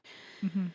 So 107 a.m., the plane's computer communication system sent a standard transmission that displayed the flight's path, and it was en route to China as planned with no deviations. At 1:19 a.m., uh, the plane MH370 was at the end of Malaysian airspace flying over the South China Sea. So the Kuala Lumpur Control Center initiated the transfer of control to the control center in Ho Chi Minh City, also called Saigon, depending on. Um, there's apparently a little bit of conflict over which of those terms is the appropriate term to use. Um, but Okay. from what uh, you know, Molly and I could find, there it's debate. It's hotly debated. So I'll just you know say both for now. Um, Ho Chi Minh City, also called Saigon, in Vietnam. And essentially, what that means is they were flying from uh, their Malaysian airspace into Vietnamese airspace. So it was sort of like we're passing on the, you know, response. Crossing international Ye- boundaries. Exactly. So now it's basically theoretically uh, Vietnam's problem. problem. yeah, like responsibility to to be in touch with this airplane. So Malaysian control radioed the cockpit as they were leaving Malaysian airspace and said Malaysian 370 contact Ho Chi Minh 120.9 good night. The first officer on the plane on the flight responded, "All right, good night, Malaysian 370." That would be the last words they ever heard from this Mm. flight. So at this point, tracking of the plane should have been transferred, like I said, from Malaysia based controllers to Vietnamese controllers because it was now in Vietnamese airspace. But Mhm. MH370, even though they had just radioed good night back to Malaysia, never made contact with Ho Chi Minh. So, one minute and 43 seconds after the good night comment, we're switching to new airspace at 1:20 a.m. The transponder on the plane went dead. One minute later, One minute and 43 seconds later. So something happened. We think in those two minutes. In that, something happened in those two minutes. hmm. There would be no further communication from the plane. Air traffic controllers on the ground uh, follow the pl- paths of every flight using radar, and each plane appears as a little blip on their screen, sort of like that classic look of a radio of a I'm sorry of a radar, you know, where the blip is moving through and it's scanning. Mhm. Do you know what I mean? hmm I gotcha. Okay. So it shows the location, but that's it. Like the the little blip doesn't say like flight XYZ heading in this direction. It's just a dot. So like that's Sure. that's how they can track it. So controllers will know there's an aircraft, they don't know who it is or where they're headed. For more detailed information on a flight and its path, controllers rely on planes' transponders. Now a transponder and it's- essentially? I was gonna say, and that's been turned off. Yes, so that is the thing that turned off right after they said a minute and 43 seconds after they said goodnight to Malaysian air control. Okay. So, what a transponder does is it sends electronic messages which communicate a plane's flight number, altitude, speed, and where it's heading. So, it's basically what you would imagine they radio back to be like, we're this many feet and we're Yeah. this altitude, you know, just like the usual jargon that pilots, I imagine, would say to ground control. But so, sh- but they basically just like one minute forty three seconds later, just off the grid. It no just information. it just shut off. Yes. Okay. When the transponder went out, controllers on the ground lost access to all of that. They can't they can't access where the plane is. They can't access the altitude, speed, where it's going. Mm. Essentially, Flight 370 could be flying at any speed, at any altitude, in any direction. And Ugh. I know it's it's almost like they go dark, you know. And that's and that's all. That's also like. I mean, I don't know anything about this stuff, but it seems like that's a massive risk to every plane in the sky now because there's just like a rogue. Fair point. Tr- like it's like if it were on the road, there's just like a random person driving maybe in the wrong direction on a highway. Yeah, fair point. And know. nobody knows. Yeah, yeah, yeah, Yeah. So alarm bells didn't go off right away. I think there was a little confusion. So Malaysian controllers assumed, as they had already said goodnight, that now the plane was in Vietnam range. And so it was Vietnam's job to pick up the communication. But when Ho Chi Minh didn't hear from the flight, you know, they continuously tried to get in contact, knowing that this plane was supposed to be in their airspace, but they just could not hear anything. So, according to protocol, Ho Chi Minh was supposed to reach out to Kuala Lumpur within five minutes of lost contact. But instead, they tried to reach the plane for 18 minutes with no answer before they finally got in touch with Malaysia. Okay. So 19 minutes go by. They're getting no response. They finally contact Kuala Lumpur, who was like, let, let us check. They reached out to MH370 and also got zero response. So now is where panic ensues because Sure. The plane could not even be in the sky at this point. nobody knows where it is. Fear and confusion, chaos. Kuala Lumpur contacts Malaysian Airlines Control Center, who reassured them listen, don't worry, Flight 370, we just checked, it's en route over Cambodia. But here's the first plot twist this plane was not supposed to be flying over Cambodia or toward oh, Cambodia. Oh shit. Okay. Had nothing to do with Cambodia. What's more, Cambodia's capital, Phnom Penh, reported they had no information and had not spotted this plane. So there's all sorts of mix ups happening here. Controllers had no idea what the Malaysian Airlines control center was even talking about or why they were saying, oh, don't worry, all's good. They're in Cambodia. It's like, wh- why? And no, they're not. It didn't make any sense. But they have no transponder information. So there's no way to like double check this. And because they don't have a way to double check it, controllers instead start following the flight through a global air trafficking product called Flight Controller. Okay. So, using Flight Controller, they were relieved to see that the flight was still in the air Okay. and on the original flight path to Beijing, where it was supposed to be going. Unfortunately, what they didn't realize until a little bit later is that flight controller, if a transponder goes out, it no longer shows the accurate location. It just shows the original predicted path. Does that make Oh, sense? okay. So the transponder Yeah. goes out. If the transponder's on and and reacting with flight controller, they can map out where the plane is. If the transponder goes out, it'll just show you this is where it's supposed to be going, like the original flight path. On uh find my friends i turned allison off one time when i was trying to test something. I turned i unfriended her on find my friends while she was driving home and when i went to go look at it a few days later it still said she was on the highway on the way home. Is it kind of like that? Where like oh the, she's not on find my friends anymore she's off the grid but it's it's still showing the original path yes, she planned it's sort of like that, except it would have probably shown like, oh, she's she's making like if if Allison's phone went out and say she or okay, there's a stupid example, but kind of going off that. Say Allison is driving, you're tracking her location to make sure like she gets home safely, and halfway through, uh, her find my friends or her flight controller uh transponder her transponder goes out. So she's no longer emitting like the signal of where she is. It's as if your Find My Friends would just continue the path that she was supposed to be taking. So, oh so it's like still in motion yeah. So it's like showing the actual path. Yes, it's like showing the plane on the predicted path, even though for all we know the plane is fucking in the ocean or like somewhere. For all we know, Allison's It's just- car is not going. She turned around and is going the other way. But since the transponder Sure. is off, all you see is the predicted flight path. So they have this like brief moment of like, oh, relief. Thank God it is on the but way. then they realize it's like on its default is the like default it's just is to show what should be happening, but we don't have a Uh-huh. transponder to confirm any of this. So that was a very big disheartening moment when they were like, okay, never mind. So back to square one. Mhm. At 3:30 a.m., controllers were informed of this. They that, that's when they kind of had to admit, okay, we have absolutely no idea this plane MH370 is officially lost, completely lost. So 15 minutes later, 3:45 a.m., the crisis director finally declares a code red emergency, which is an emergency that requires immediate response protocol.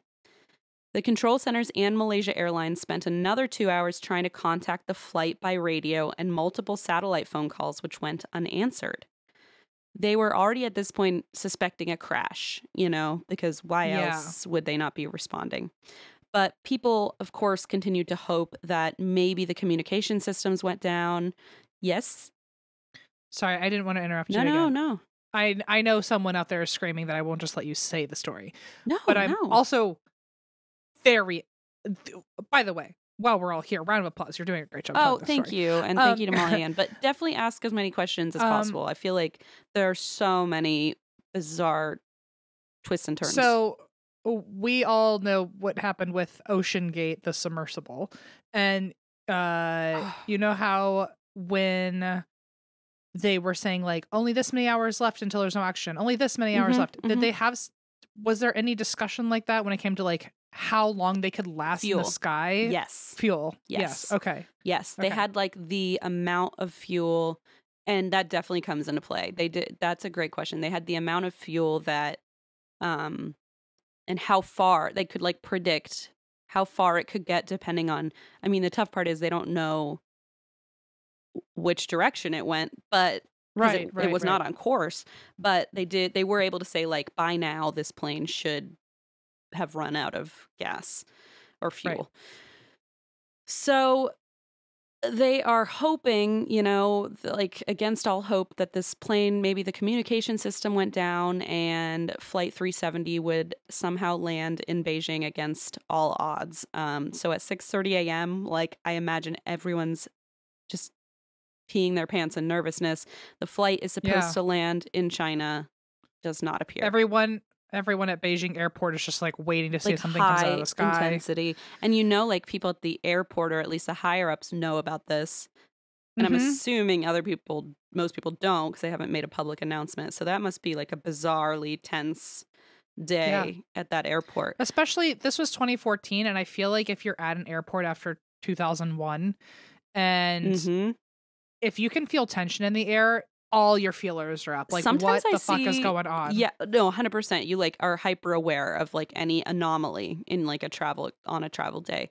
And I've seen like situations where you see like kind of the air traffic people and uh, I don't know who everybody is, but they're wearing uniforms and they're all speaking in hushed tones and I'm like is it Yeah, at an there airport something I should know? After 9/11, if I ever see a security guard looking nervous I at know. an airport, I'm not flying. It's a day. very like I'm scary going thought. home. It's a really scary thought, and so I'm I'm imagining there was high tension there at the Beijing airport, um, especially as the minutes ticked by and the plane did not land. Mm. This is when they really felt like, okay, something has gone terribly wrong. Malaysia officially launched a search and rescue operation near the plane's last known location, like the last time it had pinged over the South China Sea, thinking, you know, well, it had probably crashed here and we'll start searching. Then at 7:24 a.m., Malaysia Airlines had to make and I feel terrible forever had to step up and do this, a public announcement about the missing Mm. plane and suddenly the news broke worldwide, creating just like an international media storm and of course devastating the families of the 239 people who were expected to just land a couple hours later in China. I can't imagine. I can't. The terror, the full terror. It really like this uh, plane topics like really get me. Uh, it's And uh, for a lot of people, a lot of people have flight anxiety about like, will I deal with turbulence? Not will I go fucking missing? seriously, you know? seriously, It- ooh, it's it's a very scary thought. So you know, I understand if people are like, nope, not for me. Like I get it. Mm. So things are looking pretty damn bleak. Several countries, including the US, sent boats and planes to the South China Sea to aid in the search. And they expected to find signs of the plane within hours or at the most a day or a couple days. And fun fact when a plane crashes uh, in the ocean, especially such a big jet, the bulk of the plane sinks deep underwater. So, what searchers do is they look for lightweight debris like seat cushions, insulation, life jackets, Sure. things that would obviously float to the surface. And of course, tragically, bodies of victims who hadn't been strapped into their seats. Um, and these would float to the surface in uh, in a situation like a large plane crashing into the ocean. However, Mhm. search efforts can often be complicated by the amount of trash in the ocean. You know, you see like something floating and it's like fucking think it's from that styrofoam. plane. Yeah, you know, it's just like us humans being complete assholes and just throwing plastic at the fish. Um, but when searchers finally do find what they're looking for, if they do, uh, this is like more of just a hypothetical or like a pro- how how this usually works. Um, If Mhm. they do find what they're looking for, the debris obviously will have floated away from the crash site, and so then I think this is so fascinating. They have to do basically mathematical calculations that involve the ocean currents to work their way Oh, backward in time to where the crash would have occurred. Can you imagine having that as like a bonus question at the end of a test? I would. Uh, do you know that three times in this I write parentheses? Is this what calculus is? Because like I don't Yeah. know what calculus is, but like every time I read that, I'm like, oh, is that what? And so when they say, oh, you'll never use math in the real world, I'm like, somebody's doing it, not me. But somebody used math to save lives or to try to save lives? yeah, yeah. yeah, to do very smart things. And there's more of this kind of like ingenious, like new ways of trying to search and rescue that actually are now being implemented uh, as protocol because of this crash. So we'll definitely get into like how things have shifted. Um, but so now they're looking for this plane in the South China Sea, and the hours are ticking by, but there is no sign of flight 370 deb- debris. And so something is not adding up. They're like, well, it is not here. That evening, Malaysian Airlines engineering department contacted the CEO of the company with some startling new details. So the department had reviewed Flight 370's satellite communication information, and it turns out that at 2:39 a.m., Malaysian Airlines ground controllers had made a satellite phone call to the plane, and nobody answered the call, but the plane's satellite data unit registered the call, which means the plane was still in the air at the time of the call. Okay. And that was at 2:39. What time is it? 2:39. Now at 7:14 a.m., another satellite fall connected to the plane's satellite data, data, which meant the plane was still in the air 45 minutes after it was supposed to land in Beijing and 6 hours after its communication went down. And that couldn't be a fluke. That couldn't be a No. glitch. The satellite What? So how ping- did pinged it that it was that it was they they called to the plane and the uh transmission was received. They weren't they didn't communicate back. Um, Huh. but the transmission was received, which means it was still operating. And and, in it had in, in the air for sure, not just like I on the believe ground. so because I think because it's like a satellite, like it's meant to track flying objects. Wow. So I'm I'm quite sure uh, this is confirmation that it was still in the air. So what does that mean if it was for it it lasted an hour longer than it was supposed to in the sky? Like or- Well, I mean, I think they all typically have more fuel in reserve. You know, like I don't think it's like they have the exact amount of fuel just to get from point A to point B in case Sure. they have to reroute or something like that. Okay. Um, but it was still shocking because they thought, oh, well, this is probably just your, I mean, I hate to say cut and dry plane crash, but like the systems went down and we can't find the plane. Presumably it crashed. But no, hours and hours later, this thing is still in the air, apparently. yeah. Uh, so far, I'm thinking like someone put it in autopilot and hijacked the plane or something. Or like that is a theory. okay, That is definitely a theory. okay. So, more satellite data would continue to come to light. Uh, a satellite over the Indian Ocean that was operated by a British company. Oh, that's the other thing. There are a lot of like private companies that also have kind of satellites and things in the air that they can like volunteer their information. Like, it's not governmental tracking like federal tracking, it's more like specific private uh, companies that have um, some sort of a satellite up there and they can you know say oh we were able to ping the plane at this time. And so they did. They uh, they offered up some information. The satellite contacted the flight oh sorry i didn't even finish this sentence and so that's what they did the satellite over the indian ocean operated by a british company had actually made contact with flight 370 in the early morning so the satellite contacted the flight with a series of signals called handshakes. And I'll Mhm. just real quick like tell you what a handshake is. Basically, it's when the satellite recognizes the airplane in the air and like pings it, like sends an electronic query. Okay. And the satellite will then tilt in a position to receive a response if the airplane sends a message back. But the flight never completed the handshake. They never sent a message back Got it was sort of as if like picture like you're calling the plane over the phone and they're not answering but you know Mhm. it's there so sure. they pinged it like they're like oh okay so with those handshakes they can see right about or at least an area of where the plane could have been as it moved um but again there was no like conscious response from the plane so uh the plane was sending these signals called handshakes right and even though the should we plane should we address that you're in a different? oh yeah sure okay. Um, hey everyone, remember that time when Christine fell asleep mid podcast and okay. we had to redo uh the podcast the next day? i didn't fall asleep She didn't fall asleep, but after we recorded, by the way, we're now uh, the middle of this podcast is a different day and we realized that there were more notes to, to go. So Okay, here's what I did. I accidentally deleted like a page of notes somehow. and when I got to the end of my notes yesterday as we recorded the episode, I was like, oh shit, I missed like a huge chunk of notes. Where are they? So I went and found them and now we're recording them the day later. Mhm. So it's going to skip from this to like us yesterday. So there's just like one page where these notes. I'm so sorry. we're in a bit of a is- this is a weird like glitch in the matrix. It we're is. just we're in the middle of two sets of the same We're like day. going fast forward, then back again. Um, and future us that you hear in a few minutes won't know that we're doing this. So it's kind of trippy. Um, and I apologize, but I was explaining to Em about the handshakes that the uh, satellite was sending to the airplane. And essentially, they send this this handshake, and the plane is supposed to respond, but it wasn't.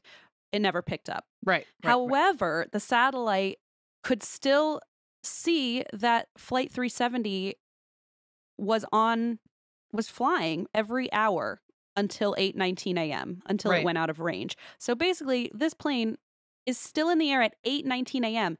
and that means it was still in the air more than 7 hours after takeoff and nearly 2 hours after it was supposed to arrive in China. So in other words, they were like starting the process to look for the wreckage before the plane had ever even gotten out of the air. Isn't that wild? Yeah, it makes you also wonder like ah, so how much I mean, I know there was more fuel than I guess the jet truly needed, but how much fuel I would want to know the math of like how much fuel is there in total on this plane and how far can it get if it's now Okay. exceeding its destination? You asked that yesterday. I was like, I'll let you know. And then I apparently deleted the entire bullet point, but I have it right here. I'm still desperate for the information. Okay, good. I'm so glad. So I will tell you um in like two bullet points.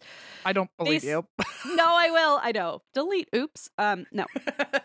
Authorities began to suspect foul play, kind of like you did at first, right? Like they believed someone on board deliberately disabled some of the flight's communication systems because if the plane is still in the air but not responding, like it seems intentional. Mhm. So here you go, Em. At takeoff, the plane was equipped with 108,200 pounds of jet fuel. I don't even know what that means. Okay. Uh, you asked for this information. I know, I know, I know, I know.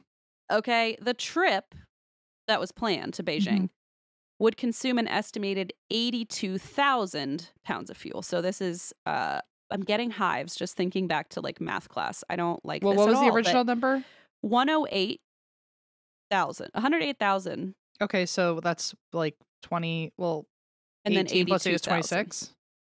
26 more? I don't know, Em. I think it's 26,000 more. Okay. I like I literally believe you. I have no idea. Okay. Okay, now I am feel like we're now I'm nervous. W- 108,200. Wait, shit. 108,200 minus 82,000 is 26,200. You're so smart. Okay. okay. So that is how much would be in reserve 26,000 pounds of fuel. okay. And that would be enough to travel, here you go, an estimated seven hours and 31 minutes total. Wow. And the original flight was scheduled for five hours and 34 minutes. So almost two hours more of Sure. fuel is Okay. on board. So it's weird because the plane had plenty of fuel to divert to multiple airports if there were an emergency. Mhm. Like if if something had gone wrong, they could have diverted to it's not like they were stranded over the ocean with not enough fuel the whole time. Like they could have landed somewhere safely. So Mhm. this is also why they thought maybe this was foul play. Okay. So now they're obviously thinking, where the hell did it go if it's still in the air at 8 a.m.? So engineers worked out a way to estimate the flight's location using the satellite data. Every time the satellite sent a handshake, the amount of time it took for the signal to reach the plane and like bounce back, they Mhm. were able, it's like genius. They were able to use that to create like potential paths saying, you know, I don't know. It reminds me of like if a train is traveling at this speed Right, for right. this many miles, like which I could never understand, but obviously much smarter people than I are on this. And uh so they were able to kind of do this ingenious kind of hack where they saw how long the signal took and they were able to route multiple different potential uh, routes that this plane could have taken. And it, it wasn't precise by any means, but it was at least a good idea of the flight's path in relation to this satellite. People who are into like aeronautics and like Oh. that make that their job. I don't think I've ever understood until now what maybe their job entails, but like having to do math about Oh. planes is crazy. That Is- also like requires you to think of people's human lives at stake. Like, oh yeah. my gosh. I remember my friend's dad had all these like textbooks about like airplane history of aviation and I would look at it and go like Well, I'm not a I'm not a girl girly in STEM. I know that much, and I'm three. like I figured that out early. I feel like um it's very much I mentioned this to you when it came out, but back at the last Spider-Man movie, he and Spider-Man def- defeats Doctor Strange because he uses math. And oh, like oh yeah. and he says like, "You know what's cooler than magic? Math." And like I just knew that was going to be on like an educational poster somewhere. Every poster in every middle school, you know it. Like, Yeah. you know it. like you know Maybe like get my Cricut machine out and start like profiting off that. You know, Marvel's gonna sue me. I just can't believe like you know they said it. They planted that line to make it a promotional to merchandise Poster. it for Yeah. sure. To merchandise it, yeah, I But totally anyway, agree. Spider Man, if he were hearing the story, he'd be like, "Can't agree. Math saves lives." So, Be like I already figured out where they are with my spidey senses. yeah, Um, so next they had to determine uh, which way the flight went because there were multiple options, and data showed it was moving away from the satellite, but of course they didn't know in which direction. So, using the information I told you about the plane's fuel load, they were able to rule out several possibilities and they were kind of like narrowing down the potential paths this plane could take. So, this was apparently, and I mean, unsurprising to me, a groundbreaking method of searching. Um, a man named William Waldock, who is a professor of accident investigation, said, quote, in terms of search and rescue, they're probably going to have to rewrite the book after this. Like, They are like totally re-engineering, so to speak, the entire way that they're doing search and rescue here. yeah, So, in the end, they determined that the flight either headed northwest, crossing China and India into Central Asia over Kazakhstan, Mhm. and the other possibility was that the flight veered southwest. So, on that route, the plane would leave land completely and just fly over open ocean, over the Indian Ocean, which Mm. also doesn't make sense, you know?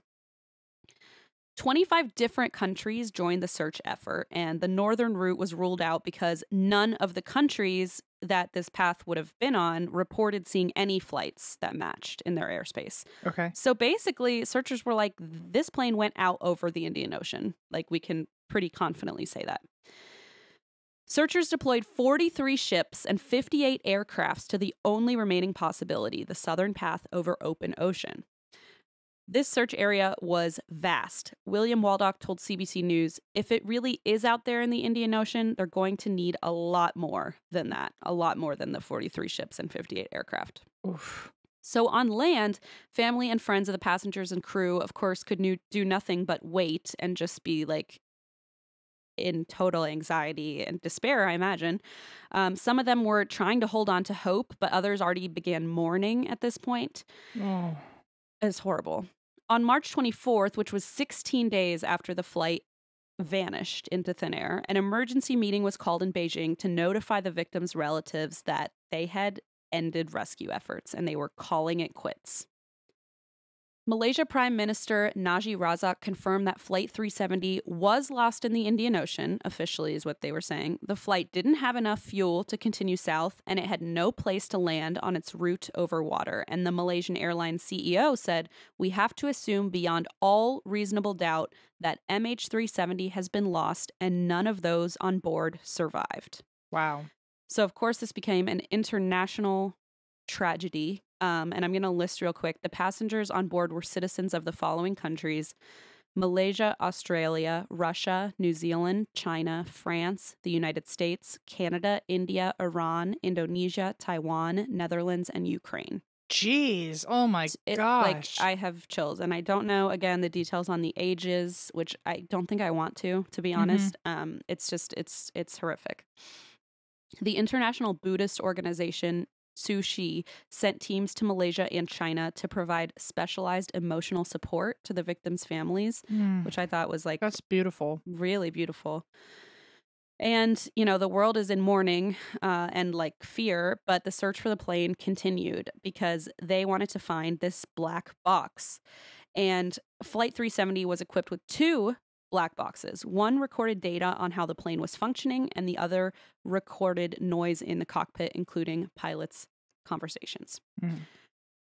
So, black boxes are equipped with battery powered beacons that send out these sort of pings to indicate their location. And ships can use special sonar equipment to detect the sonic signals underwater because they essentially sink uh, when, when the plane Sure. crashes into water. The batteries would only last 30 days. And authorities were like, shit, we're running out of time. We're already 16 days into this search. We Ugh. don't have much time left. Yeah. So, working against the clock. Malaysia, China, and Australia worked together to comb the immense area of sea. They picked up several pings on their sonar equipment, but and they, they were getting their hopes up, but it turns out that oh my god, this is like, I don't know. I don't want to like mo- I don't want to it's just embarrassing maybe for them, I think, because it turns out the pings were coming from their own equipment. Oh my God. Themselves. And I just imagine that would be so devastating when you're like, oh my God, we're hearing something, you know? Yeah. And oh, I'm not saying like, oh, they did something wrong. I have no idea, but it must just have been so they're so probably wired that they got confused about like disheartening. yeah, yeah. Who yeah, who knows? And there's multiple teams coming in with equipment. So essentially it turned out these signals were false and were probably pinging on themselves. which sucks because if you only have like 14 hours left and now you're like directing a whole 14 hour days, of but 14 still. days, I feel like it's like wasted time now that like you've been Yes. trying to find these other pings and it was you the whole time. It, it- it's almost like, oh, we've just concentrated our search in this one area thinking it was here. Turns out we could have spent that time, you know, searching more. Mm. Yeah, it's got to be really, really disheartening. So after, you know, the time passed, they basically ran out of hope uh, that they would ever locate the black boxes. So the only remaining option was to simply start looking for the wreckage underwater. So on October 6, 2014, authorities began to search along the path or the arc where the plane last flew before it was lost to the satellite. okay. They searched over 74,000 square nautical miles of ocean floor. Holy no luck. shit. This is a massive amount of space, and it's not even as much as they would have wanted to to be able to but the funds you know and the time just weren't there for that that's but- still an to me that's an impressive amount of time. a so- massive amount. Yeah. No luck. No luck. Nothing. In 2015, locals on the island Reunion, which is east of Madagascar, found a piece of a Boeing 77 in the sand during a beach cleanup. Now, authorities were able to use serial numbers printed on the metal to confirm that it was actually a piece of Flight 370. And this was essentially their confirmation that MH370 had gone down over the Indian Ocean. But they still found no sign of the actual plane or any of the people who Wow. had been aboard it. So, in January 2017, nearly three years since the incident, all three countries officially suspended their search. Mm. Meanwhile, uh, a man named Blaine Gibson, who is a former lawyer from Seattle who specializes in wreckage hunting, started his. okay. I know, what a Tinder bio. What a what a hobby. Okay. I like long walks on the beach looking for shrapnel of an airplane. Yeah. That's You all. know. So he started his own search along the coast of Southeast Africa, and he discovered 11 pieces of debris thought to belong to MH370. As of 2021, 33 pieces of washed up debris have been confirmed to be connected to that plane. Oh wow. Okay. So it's definitely. I mean, obviously, it so they have at some found point. pieces and i will say like in the black box down episode i listened to um, the guy who hosts it is kind of an expert on these things and he explained like they couldn't say a hundred percent that this uh, it was called a flaperon and it's like a just a part of a, a plane and it had a number stenciled on it and it was from a boeing 777 and they were able to say like odds are this is from the plane. They can't say definitively 100%, but we're pretty sure that it's from the plane.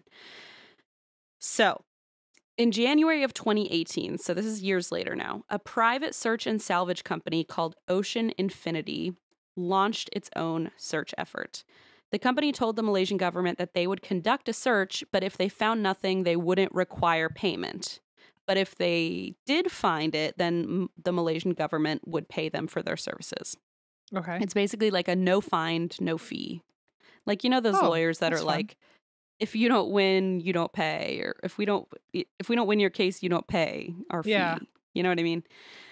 And so the Malaysian government agreed, and this company, Ocean Infinity, spent six months and millions of dollars scouring underwater mountains and caverns with its cutting edge submarines and sonar equipment. Unfortunately, they found nothing. And so they spent those millions and didn't get paid for it and didn't find anything. Hmm. Left with absolutely no physical information about the flight's final hours, investigators had to look elsewhere for answers. One odd detail of the incident was that according to phone data records, this this creeps me out. The flight at one point was in within range of a cell phone tower while it was like off the grid. That means if anything was wrong or if anyone suspected anything was wrong, why did no one make an attempt to make a phone call? Like you know on the plane when usually you're out of service, but like they crossed through areas where there was cell phone service and you'd think like if you were in danger or you were you knew Someone's something looking at their phone wrong, or trying to send a message. Yeah. yeah, that somebody would have sent something, but that did not happen. So the thought now is were they incapacitated the whole Yeah. flight? Or did they or perhaps they had no idea they had gone off course. And they were oh, just Oh, like yeah. in the plane, like chilling, sleeping. Yeah. So next interesting point. For most of its path south, Flight 370 flew in a straight line out to sea. But the initial turn it took to go off course, so basically, you can see when the flight is going on its intended course. Then all of a sudden, when it goes off course, it makes such a tight turn that this tight could this tight turn could only be accomplished manually without autopilot by a very experienced pilot. Wow. Yeah. So now I'm starting to wonder, like, in, if they didn't get hijacked by, like, let's say, like an expert pilot that happened to be a passenger on board who And a terrorist. and a terrorist waits for everyone to either fall asleep or hurts everybody so they don't try to have access to their phones or anything takes over the pilot the, the only other thought now is like was the pilot like a double agent or something and like just like the pilot knew what he was doing the entire time well, there's another theory, Em. You're you're nailing it. sorry i feel like i'm, I'm No, spoiling you're things saying for the you no, you're saying the exact things that like are running through everyone's mind as they're discovering this because it's like, wait a second. So a pilot would have had to make this. It's not like some random person could have gotten a hold of the controls i mean pulled it's this I'm- off. it could be seen as suspicious that that pilot was so anal about making sure every single thing was right and perfect I thought that same thing. Like he mentioned all the altitude things twice, He's even though it wasn't required. Yeah, yeah. calculating And I wish I knew if that was his norm. Like, does he always Right. say everything twice, or like this time was he like, just so you know, we are at this point Right, maybe he was just a good fucking pilot and a victim, and like I don't wanna- exactly, and that's So why it's I don't also know. really messy and kind of icky because you're like, I don't want to make these assumptions. I mean, there's we don't know, and so it's like, but yeah, we will definitely get into the pilot because there is some more very intriguing information. Hmm. Okay. So, in flight simulations, nobody was able to make the turn as quickly as MH370 had. And if this turn would have taken place, which it did, the maneuver sets off alarms in the cockpit. Hmm. And essentially, it turned so tightly that if it had tried to turn any tighter, the plane could have stalled and fell, fallen right out of the sky. Like, this is an extremely dangerous move. also, would people like just be toppling out of their seats and Yes. onto other people?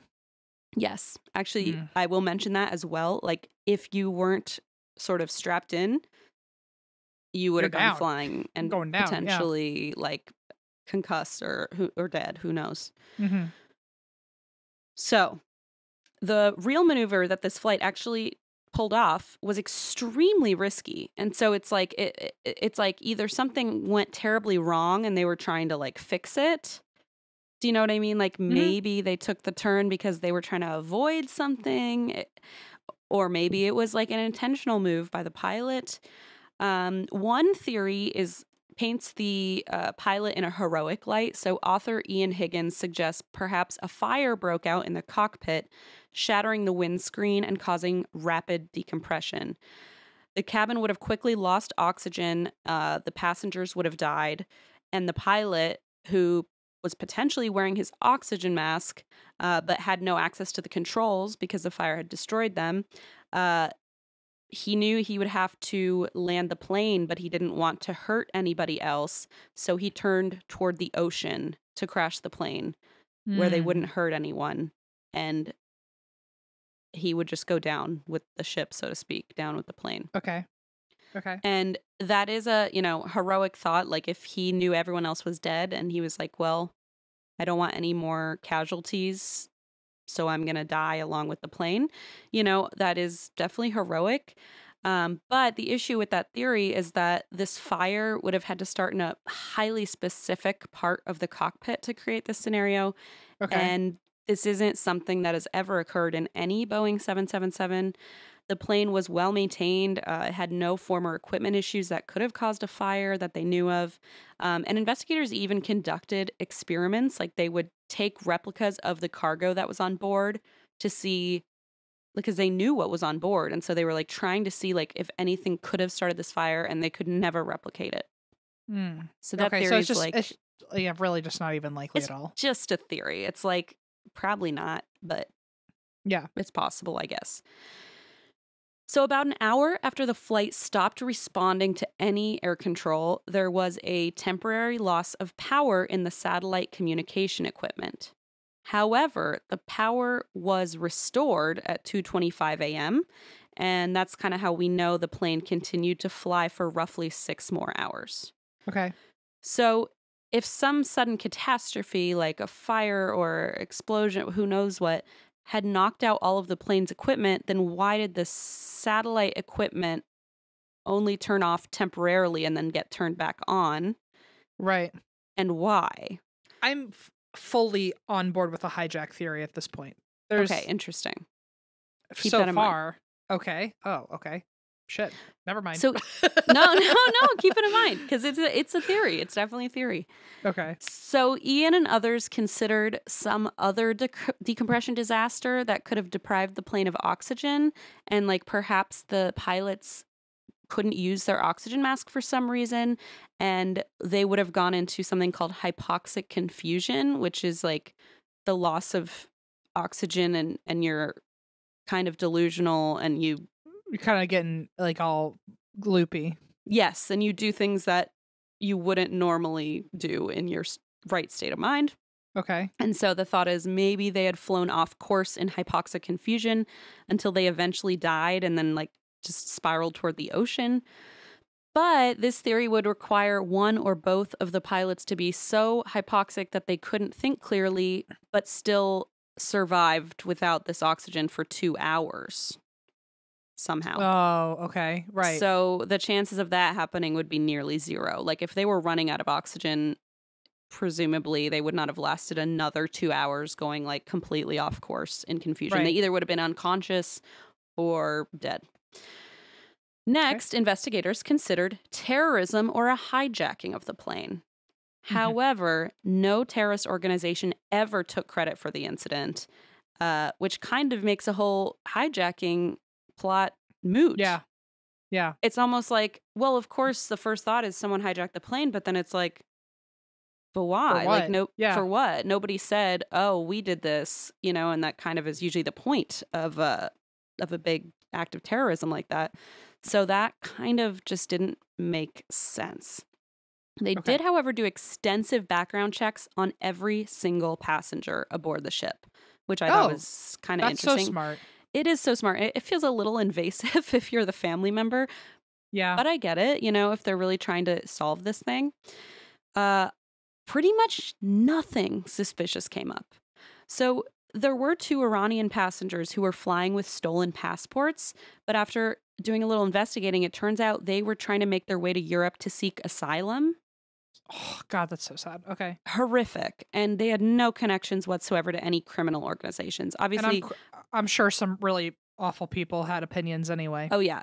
Oh yeah. And of course, you know, it's like a, a fake passport that's already like alarm bells, but it Mhm. turns out that they they had a reason. Yeah. they dug into it and they ge- legitimately were going to Europe to seek asylum. It was their ultimate uh, plan. There was another issue. Okay. So this is where we get back to the whole pilot uh, theory because Flight 370 had disappeared expertly, like creepily expertly. I mean, you saw how, well, I'll get into it, but its communication went down at the exact moment ground control was transferring from Malaysian Airlines to Vietnam airspace. Mm-hmm.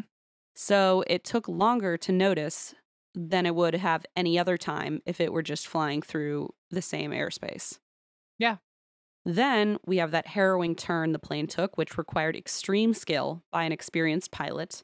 Um, and it's amazing. The jet, it's like something uh, most pilots could not pull off. Like a Mission Impossible situation. Basically, yes. Next, the flight carefully towed the line on the border of Malaysia and Thailand. And one theory is that perhaps it was trying to stay off the radar of both of those countries. Oh, okay. Thai military controllers actually picked up the plane on their equipment, but they assumed Malaysia had it under control. And Malaysia, meanwhile, hadn't Vice even versa. noticed it because they thought, oh, well, they're in Vietnam by now, you know? So it was almost like this person knew how So to someone- disappear. It had to be a I mean, obviously it had to be a pilot originally for the turn, but to even understand like flight courses and flight plans. And how air to- control would work and how they would ping you, you know, to turn off all of the transponders right at that time. Yeah. And now I think I mentioned this later, but like the interesting thing too about uh the the satellite, remember how it turned back on? yeah. One of the theories is that the pilot turned off all the equipment but didn't realize that the satellite would reboot. And so there Oh. would be a trace of where they were. And so So it was like the only hiccup in their plan. Yes, it's almost like exactly. It's almost like he turned off all the equipment so he wouldn't get traced or tracked, not realizing that the satellite would turn back on and be pinged. Um so, you know, that's a theory. I just want to be clear that's not that's just one theory of why this may have happened.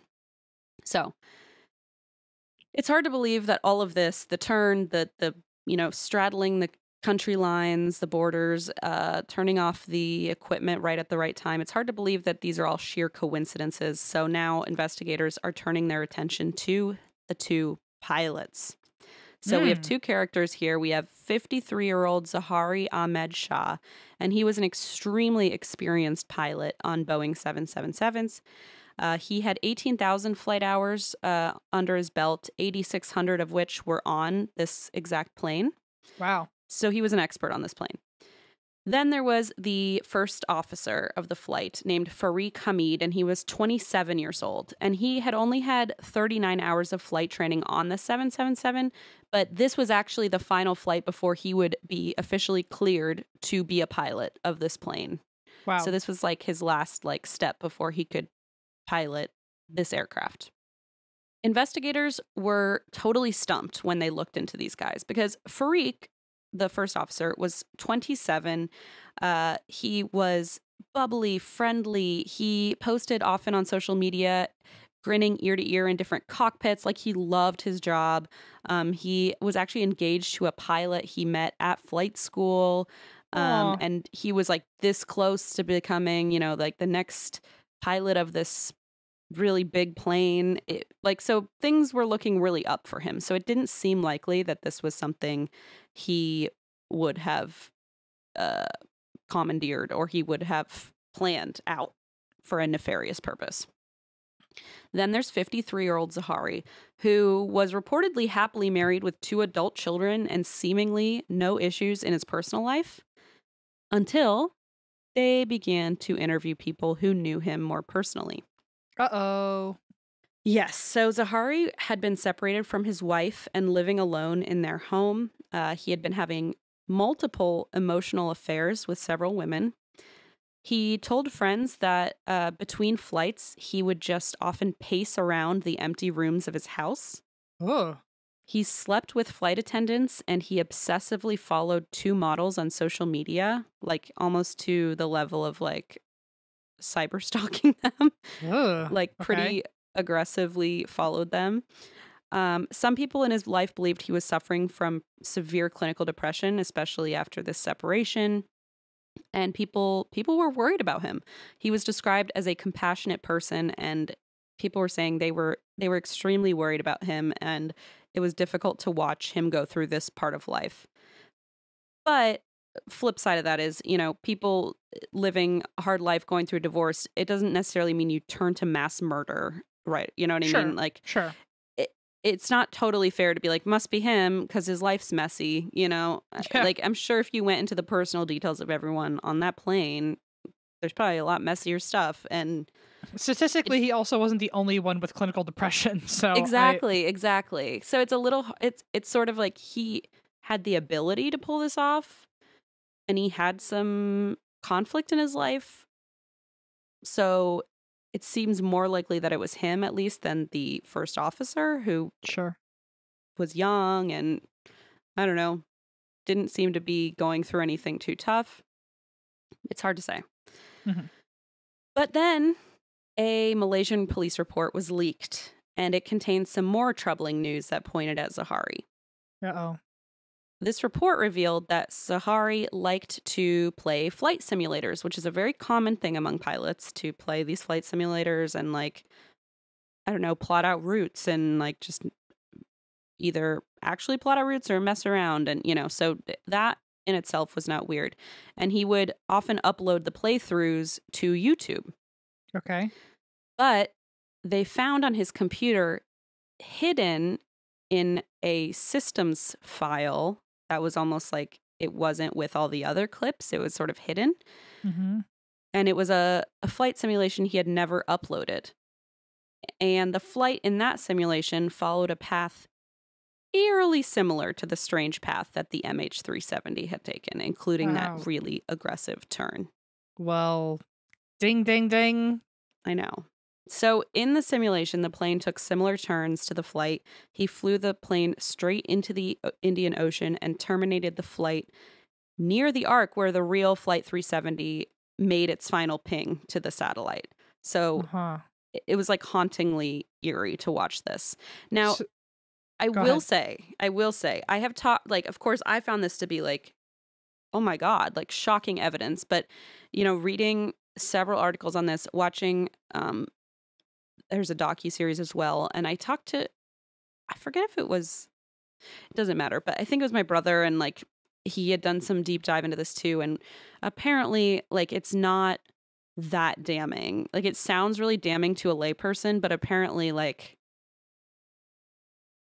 this is not a that weird of a thing to do. I don't know. I'm having a hard time like wrapping my mind about or around what are the odds that you would have this flight simulation plan and then Sure. it just happens to occur in real life.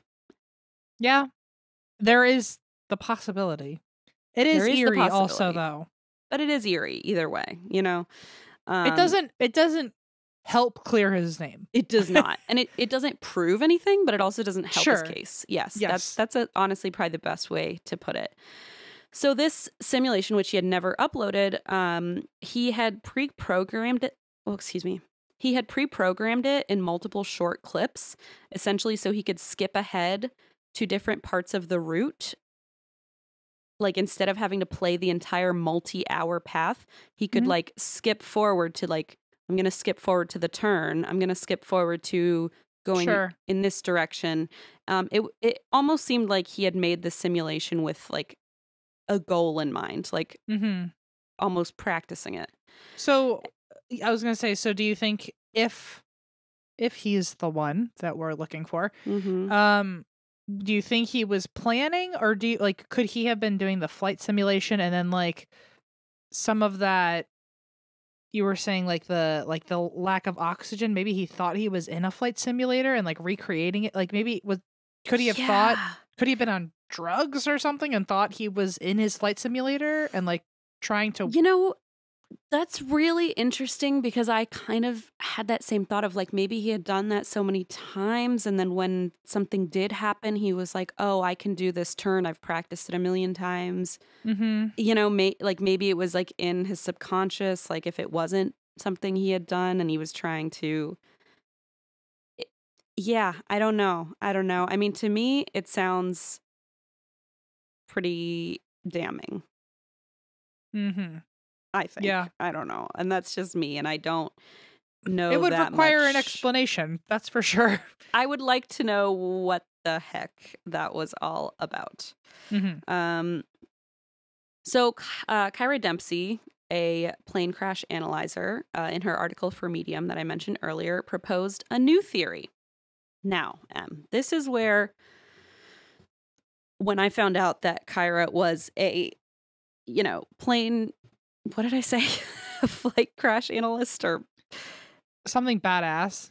something really kick-ass uh an analyzer of plane crashes yeah so when i found that out i was like oh okay that lends a whole new sense of credibility to this theory that she's posing because i assume she knows more than the average person about plane Yeah. crashes for obvious reasons so this is the theory that she proposed in her medium article like just a potential she said perhaps Zaharie the main pilot, told Fariq, the first in command, to go take care of something in the cabin, sort of just like sending him on like a little quick errand, or maybe he waited for him to go to the bathroom. And once Fariq left, Zaharie locked him out of the cockpit, put on his oxygen mask, and then cut the plane's oxygen, lights, and communication equipment. Mm. The cabin in this case would rapidly depressurize, and Zaharie would then have begun his violent two minute turn off course.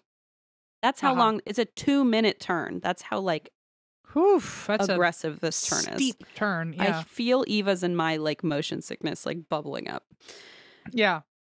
Um, so anyone who wasn't buckled in, like Fariq, for example, who would have been just running an errand out there or like in the bathroom, would be violently thrown off their feet and out Mm-hmm. Yeah. of their seats, like you had mentioned Probably earlier. Unconscious. Yeah. Probably serious injuries would have Well, occurred. especially with no oxygen, like you're definitely gonna be unconscious, including everyone who's flopping around back there if they weren't buckled in.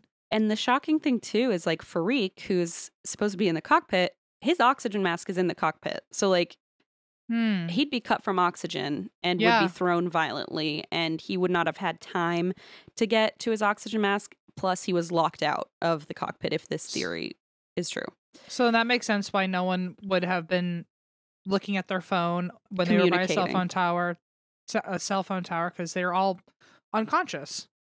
and then Yeah. dead Yep. Makes sense.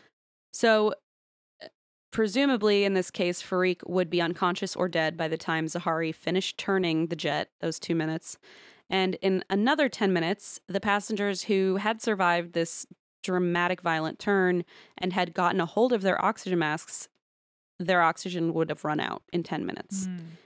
which is just like the scariest thing I've ever heard. Mm. Like a plane full of 200 some people, like all suffocating to death. I mean, it's horrific. It's horrific.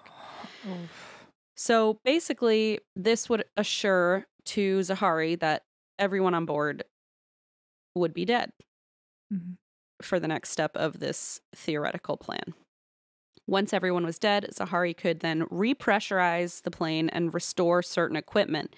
And that could have been when the satellite communication back came back on and he didn't realize that it had flipped on Mhm. because he Okay. kept all the rest of the communication Sure. lines down. So he may not have realized about the satellite. According to this theory, Zaharie would have followed nearly the same path from his flight simulation until he was home free over the Indian Ocean, and eventually the plane would have just run out of fuel Okay. and crashed into the ocean. And that So was it would have been a, a mass murder suicide, is the That's- okay. theory. sure. And, you know, that is such a big accusation to throw at someone who can't defend themselves and who, for all we know, tried to do the opposite and save people. We don't know. And so it's like a very tough line to walk because, you know, this is just a theory um, and it's it's possible. Uh, but for all we know, it happened nothing like that. it is the best theory someone has been able to come up I with. I think it is the most sound. Sound yeah sound it's the worst as far as like just the tragedy of it but it's probably the most logically sound to me Yeah. So, uh, that being said, nothing is really certain without the crucial black box evidence from the flight. And if Zaharie really were guilty of a murder suicide plot, he probably would have, which I didn't know they could do this, pilots, but probably would have disabled the black box when he cut communication at 1:21 a.m. Yeah. I didn't even know you could do that either. I'm like, you got to fix that, folks. And I think they actually did do a lot of upgrades to the black box after after this specific incident. Mm.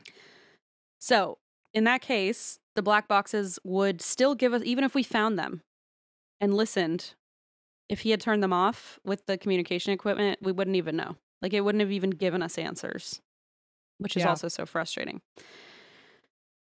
In the end, we learned some valuable lessons from the lost flight, or at least the, you know, airplane community did, because black boxes are now required to have a 90 day battery life instead of 30. Oh uh, wow. s- because originally they were 30 and they emit pings. Um, so that if they fall into the ocean, you have like 30 days to find the pings of the black boxes. They are now required to have a 90 day battery life instead of 30 to, to, you know, buy crucial time in search efforts. The International Civil Aviation Organization also requires all planes built after 2021 to include independent tracking devices that signal the plane's location once every minute Wow. I, which I'm like, wow, I'm shocked that didn't hap- exist before. Just like a, a GPS tracker on a plane. yeah. That Isn't really that is- wild? Like, I, I feel like, like, if you asked me, Renee has an AirTag on her dog. You know, I feel like you. I mean, with Find My Friends, I have an AirTag on Allison, and she has one on me. So I don't have one on you, and every time I ask, I'm rejected. So I at this point it's a it's a bit of a running ga- a gag for us, but uh is you are it? welcome. It's real. I'm glad it's funny for you because I have Eva's, and I don't. You're welcome to have mine. I I don't care. I've shit. asked, so I'm obviously not welcome. And you have You- mine. no, I don't. Oh, it says you and Lisa Lampanelli can both see my location, but I can't see yours. I truly can't see your location at all. Oh, really? I have. Allison, Oh, you know why? Mom, you know why? What? Because you saw me, you had my location for so long, and then I got so irritated that I deleted it. I was like, fine, Em, if I can't see where you are, you can't see where I am, which is at home always. Oh, okay. Well, So I deleted you, and I'm sorry. glad to know. You don't have to add me. It's it's it's it's a big it's a big ask, so I won't I won't do it. Um in any case, hello Gigi. Uh where were we? Oh, so now planes have to signal their location every single minute, not just like on the hour a potential like satellite happens to see it. Hi Leona.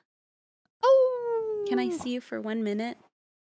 Sorry, folks, but she How climbed all the way up baby? to see me. Do you want to say something into the microphone? What do you have to say for yourself? Can you say, can you say Mothman? Can you say, can you say hello? Hello, woof, woof. Hello, woof woof. Oh, Hello, woof woof. Can you say hello, Funkle M? Hello, woof, woof. Close enough. okay. Hello. Say bye bye. Bye bye. okay. We tried. I tried to get Mothman on the record, but next time. we Um, got anyway. We got hello woof woof. So Geo got uh, a hi. I didn't, but you know it's okay. You got a hello, because I think she didn't know how to say Funkle M, but I've gotten M out of her once in my life, and that that's was a, true. that was a I should have day. just said M. Maybe that's easier. I was trying not to respond so the camera would stay on you, but I it was very. I think with precious. Zencastr now, I think they're um both side by side. Oh, perfect. Okay, well then I just looked like a tool. No, but also she couldn't hear you because I have headphones on, so I don't right, think right. that uh, it would have made a difference. It would have been me hearing oh, oh, oh, oh, oh, and would not have relayed to her.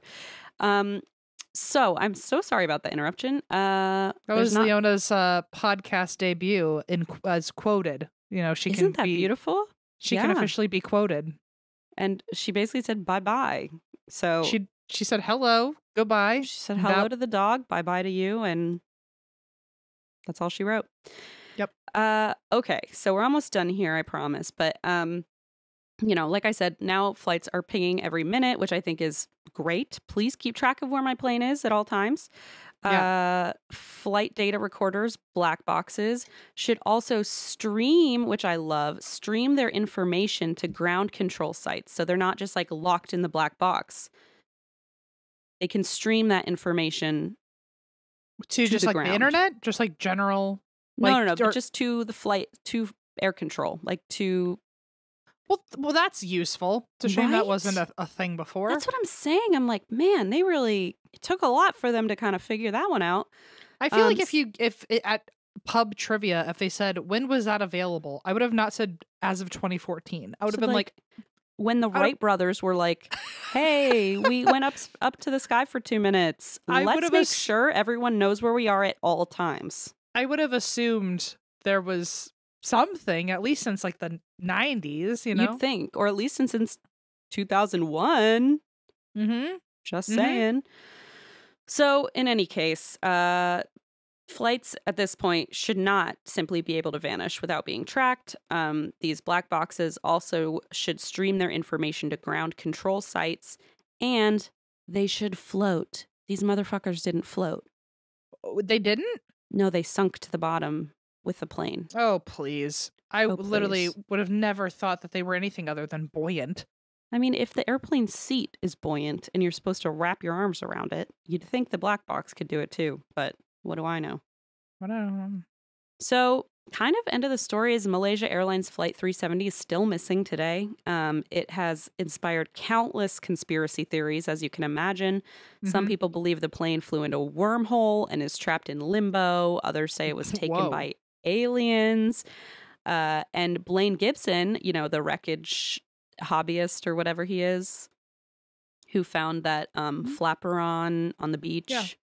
So, in his search for pieces of the plane, he actually started getting death threats from people who felt like his discoveries were threatening their theories about like time warps and government cover ups. And he Wow. was like, yo, I'm just reporting what I find, okay? Uh, of course, the tragedy also inspired pop culture. Uh, there's a TV show called Manifest. I don't know if you ever watched it. Nope. I started to watch it and I got so freaked out by the plane crash. It's not really a spoiler, it's kind of the whole point.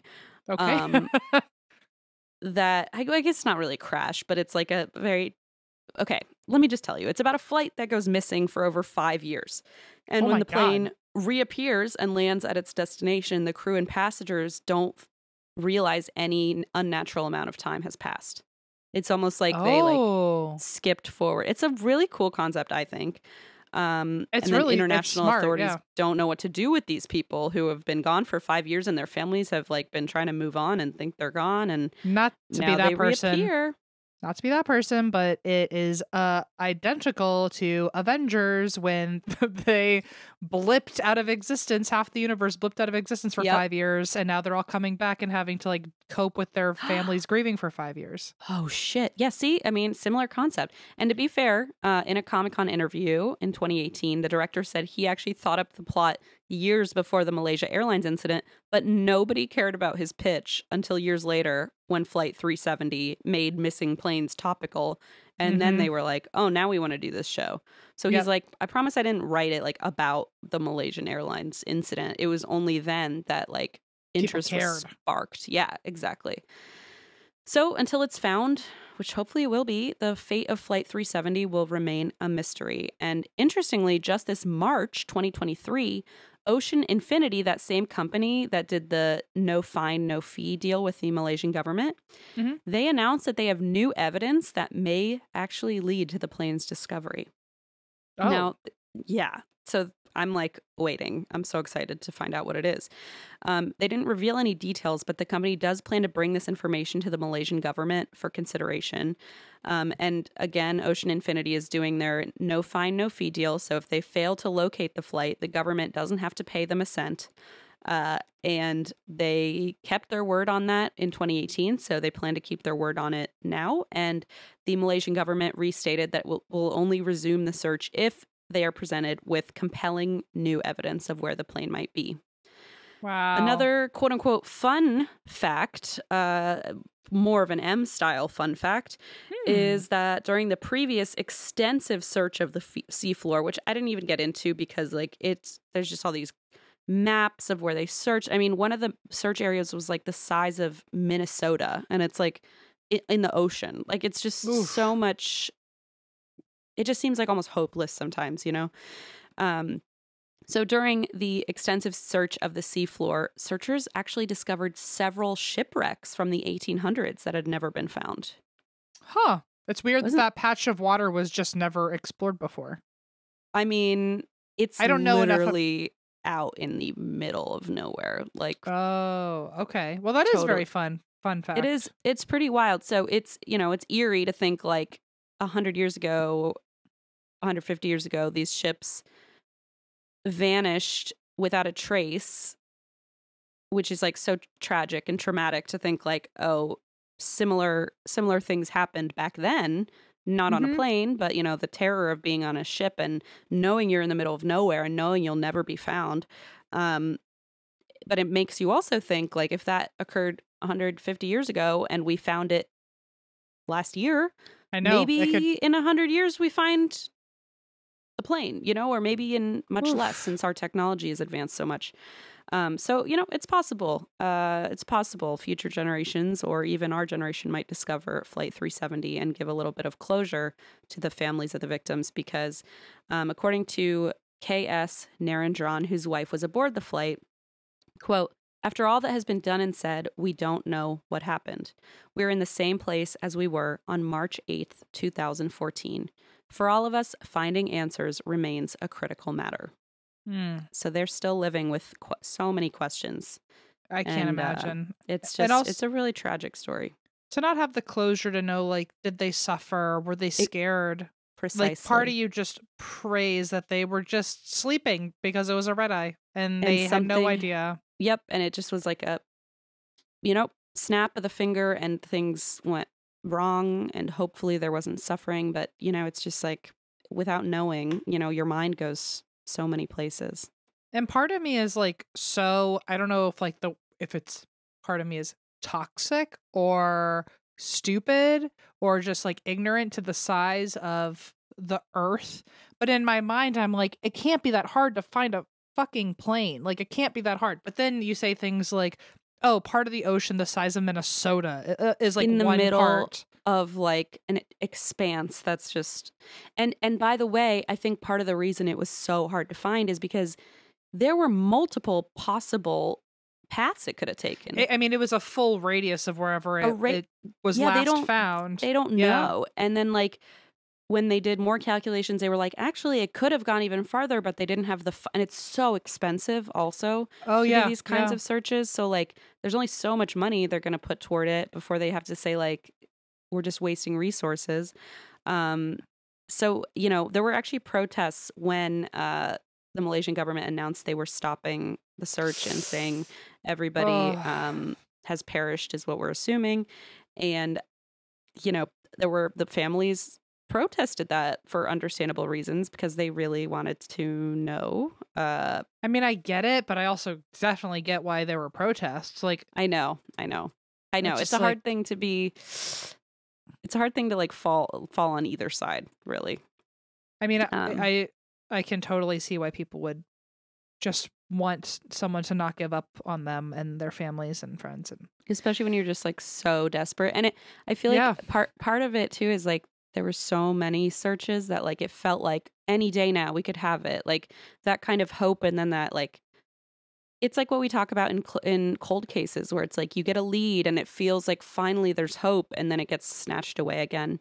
Mhm. um it just feels like a uh a really really horrific thing for for the the families involved um especially i mean especially the pilot when they're like who knows you know what really happened but to have all this speculation about like your Yeah. dad or whatever being like this mass murderer and not really knowing um anyway yeah so it pr- pretty pretty dark stuff um well, that I know it was sad, Christine, but that was that was a very good story. And not to like pat myself on the back here, but the Franz Mesmer story, I think that was one of my favorite topics to cover recently, and I think this was one of my favorite episodes we've done. This a was a time. doozy. This was a good one. And I feel like very mysterious. A lot of questions that I'd love to hear from people on, which is always kind of fun. Um, Yeah.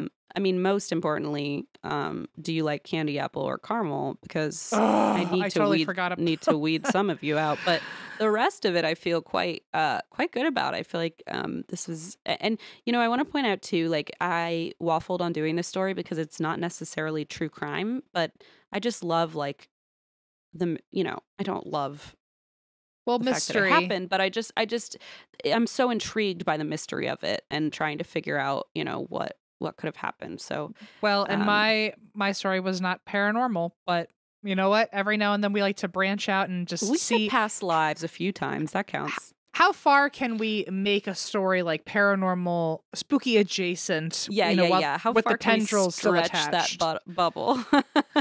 But uh no, it was still a great episode and way to bookend it, Christine, because you just reminded me I have two caramel apples I need to attend to. So Ah, excuse me, finally. everybody. what if Allison ate one? Just kidding. That's not. I'd nice joke. scream. I'd truly scream. So um she wouldn't do that. she might because there's two and she might think one is for her. So I actually have to go check on that. It's Um, actually and extremely upsetting. That's why we. drink.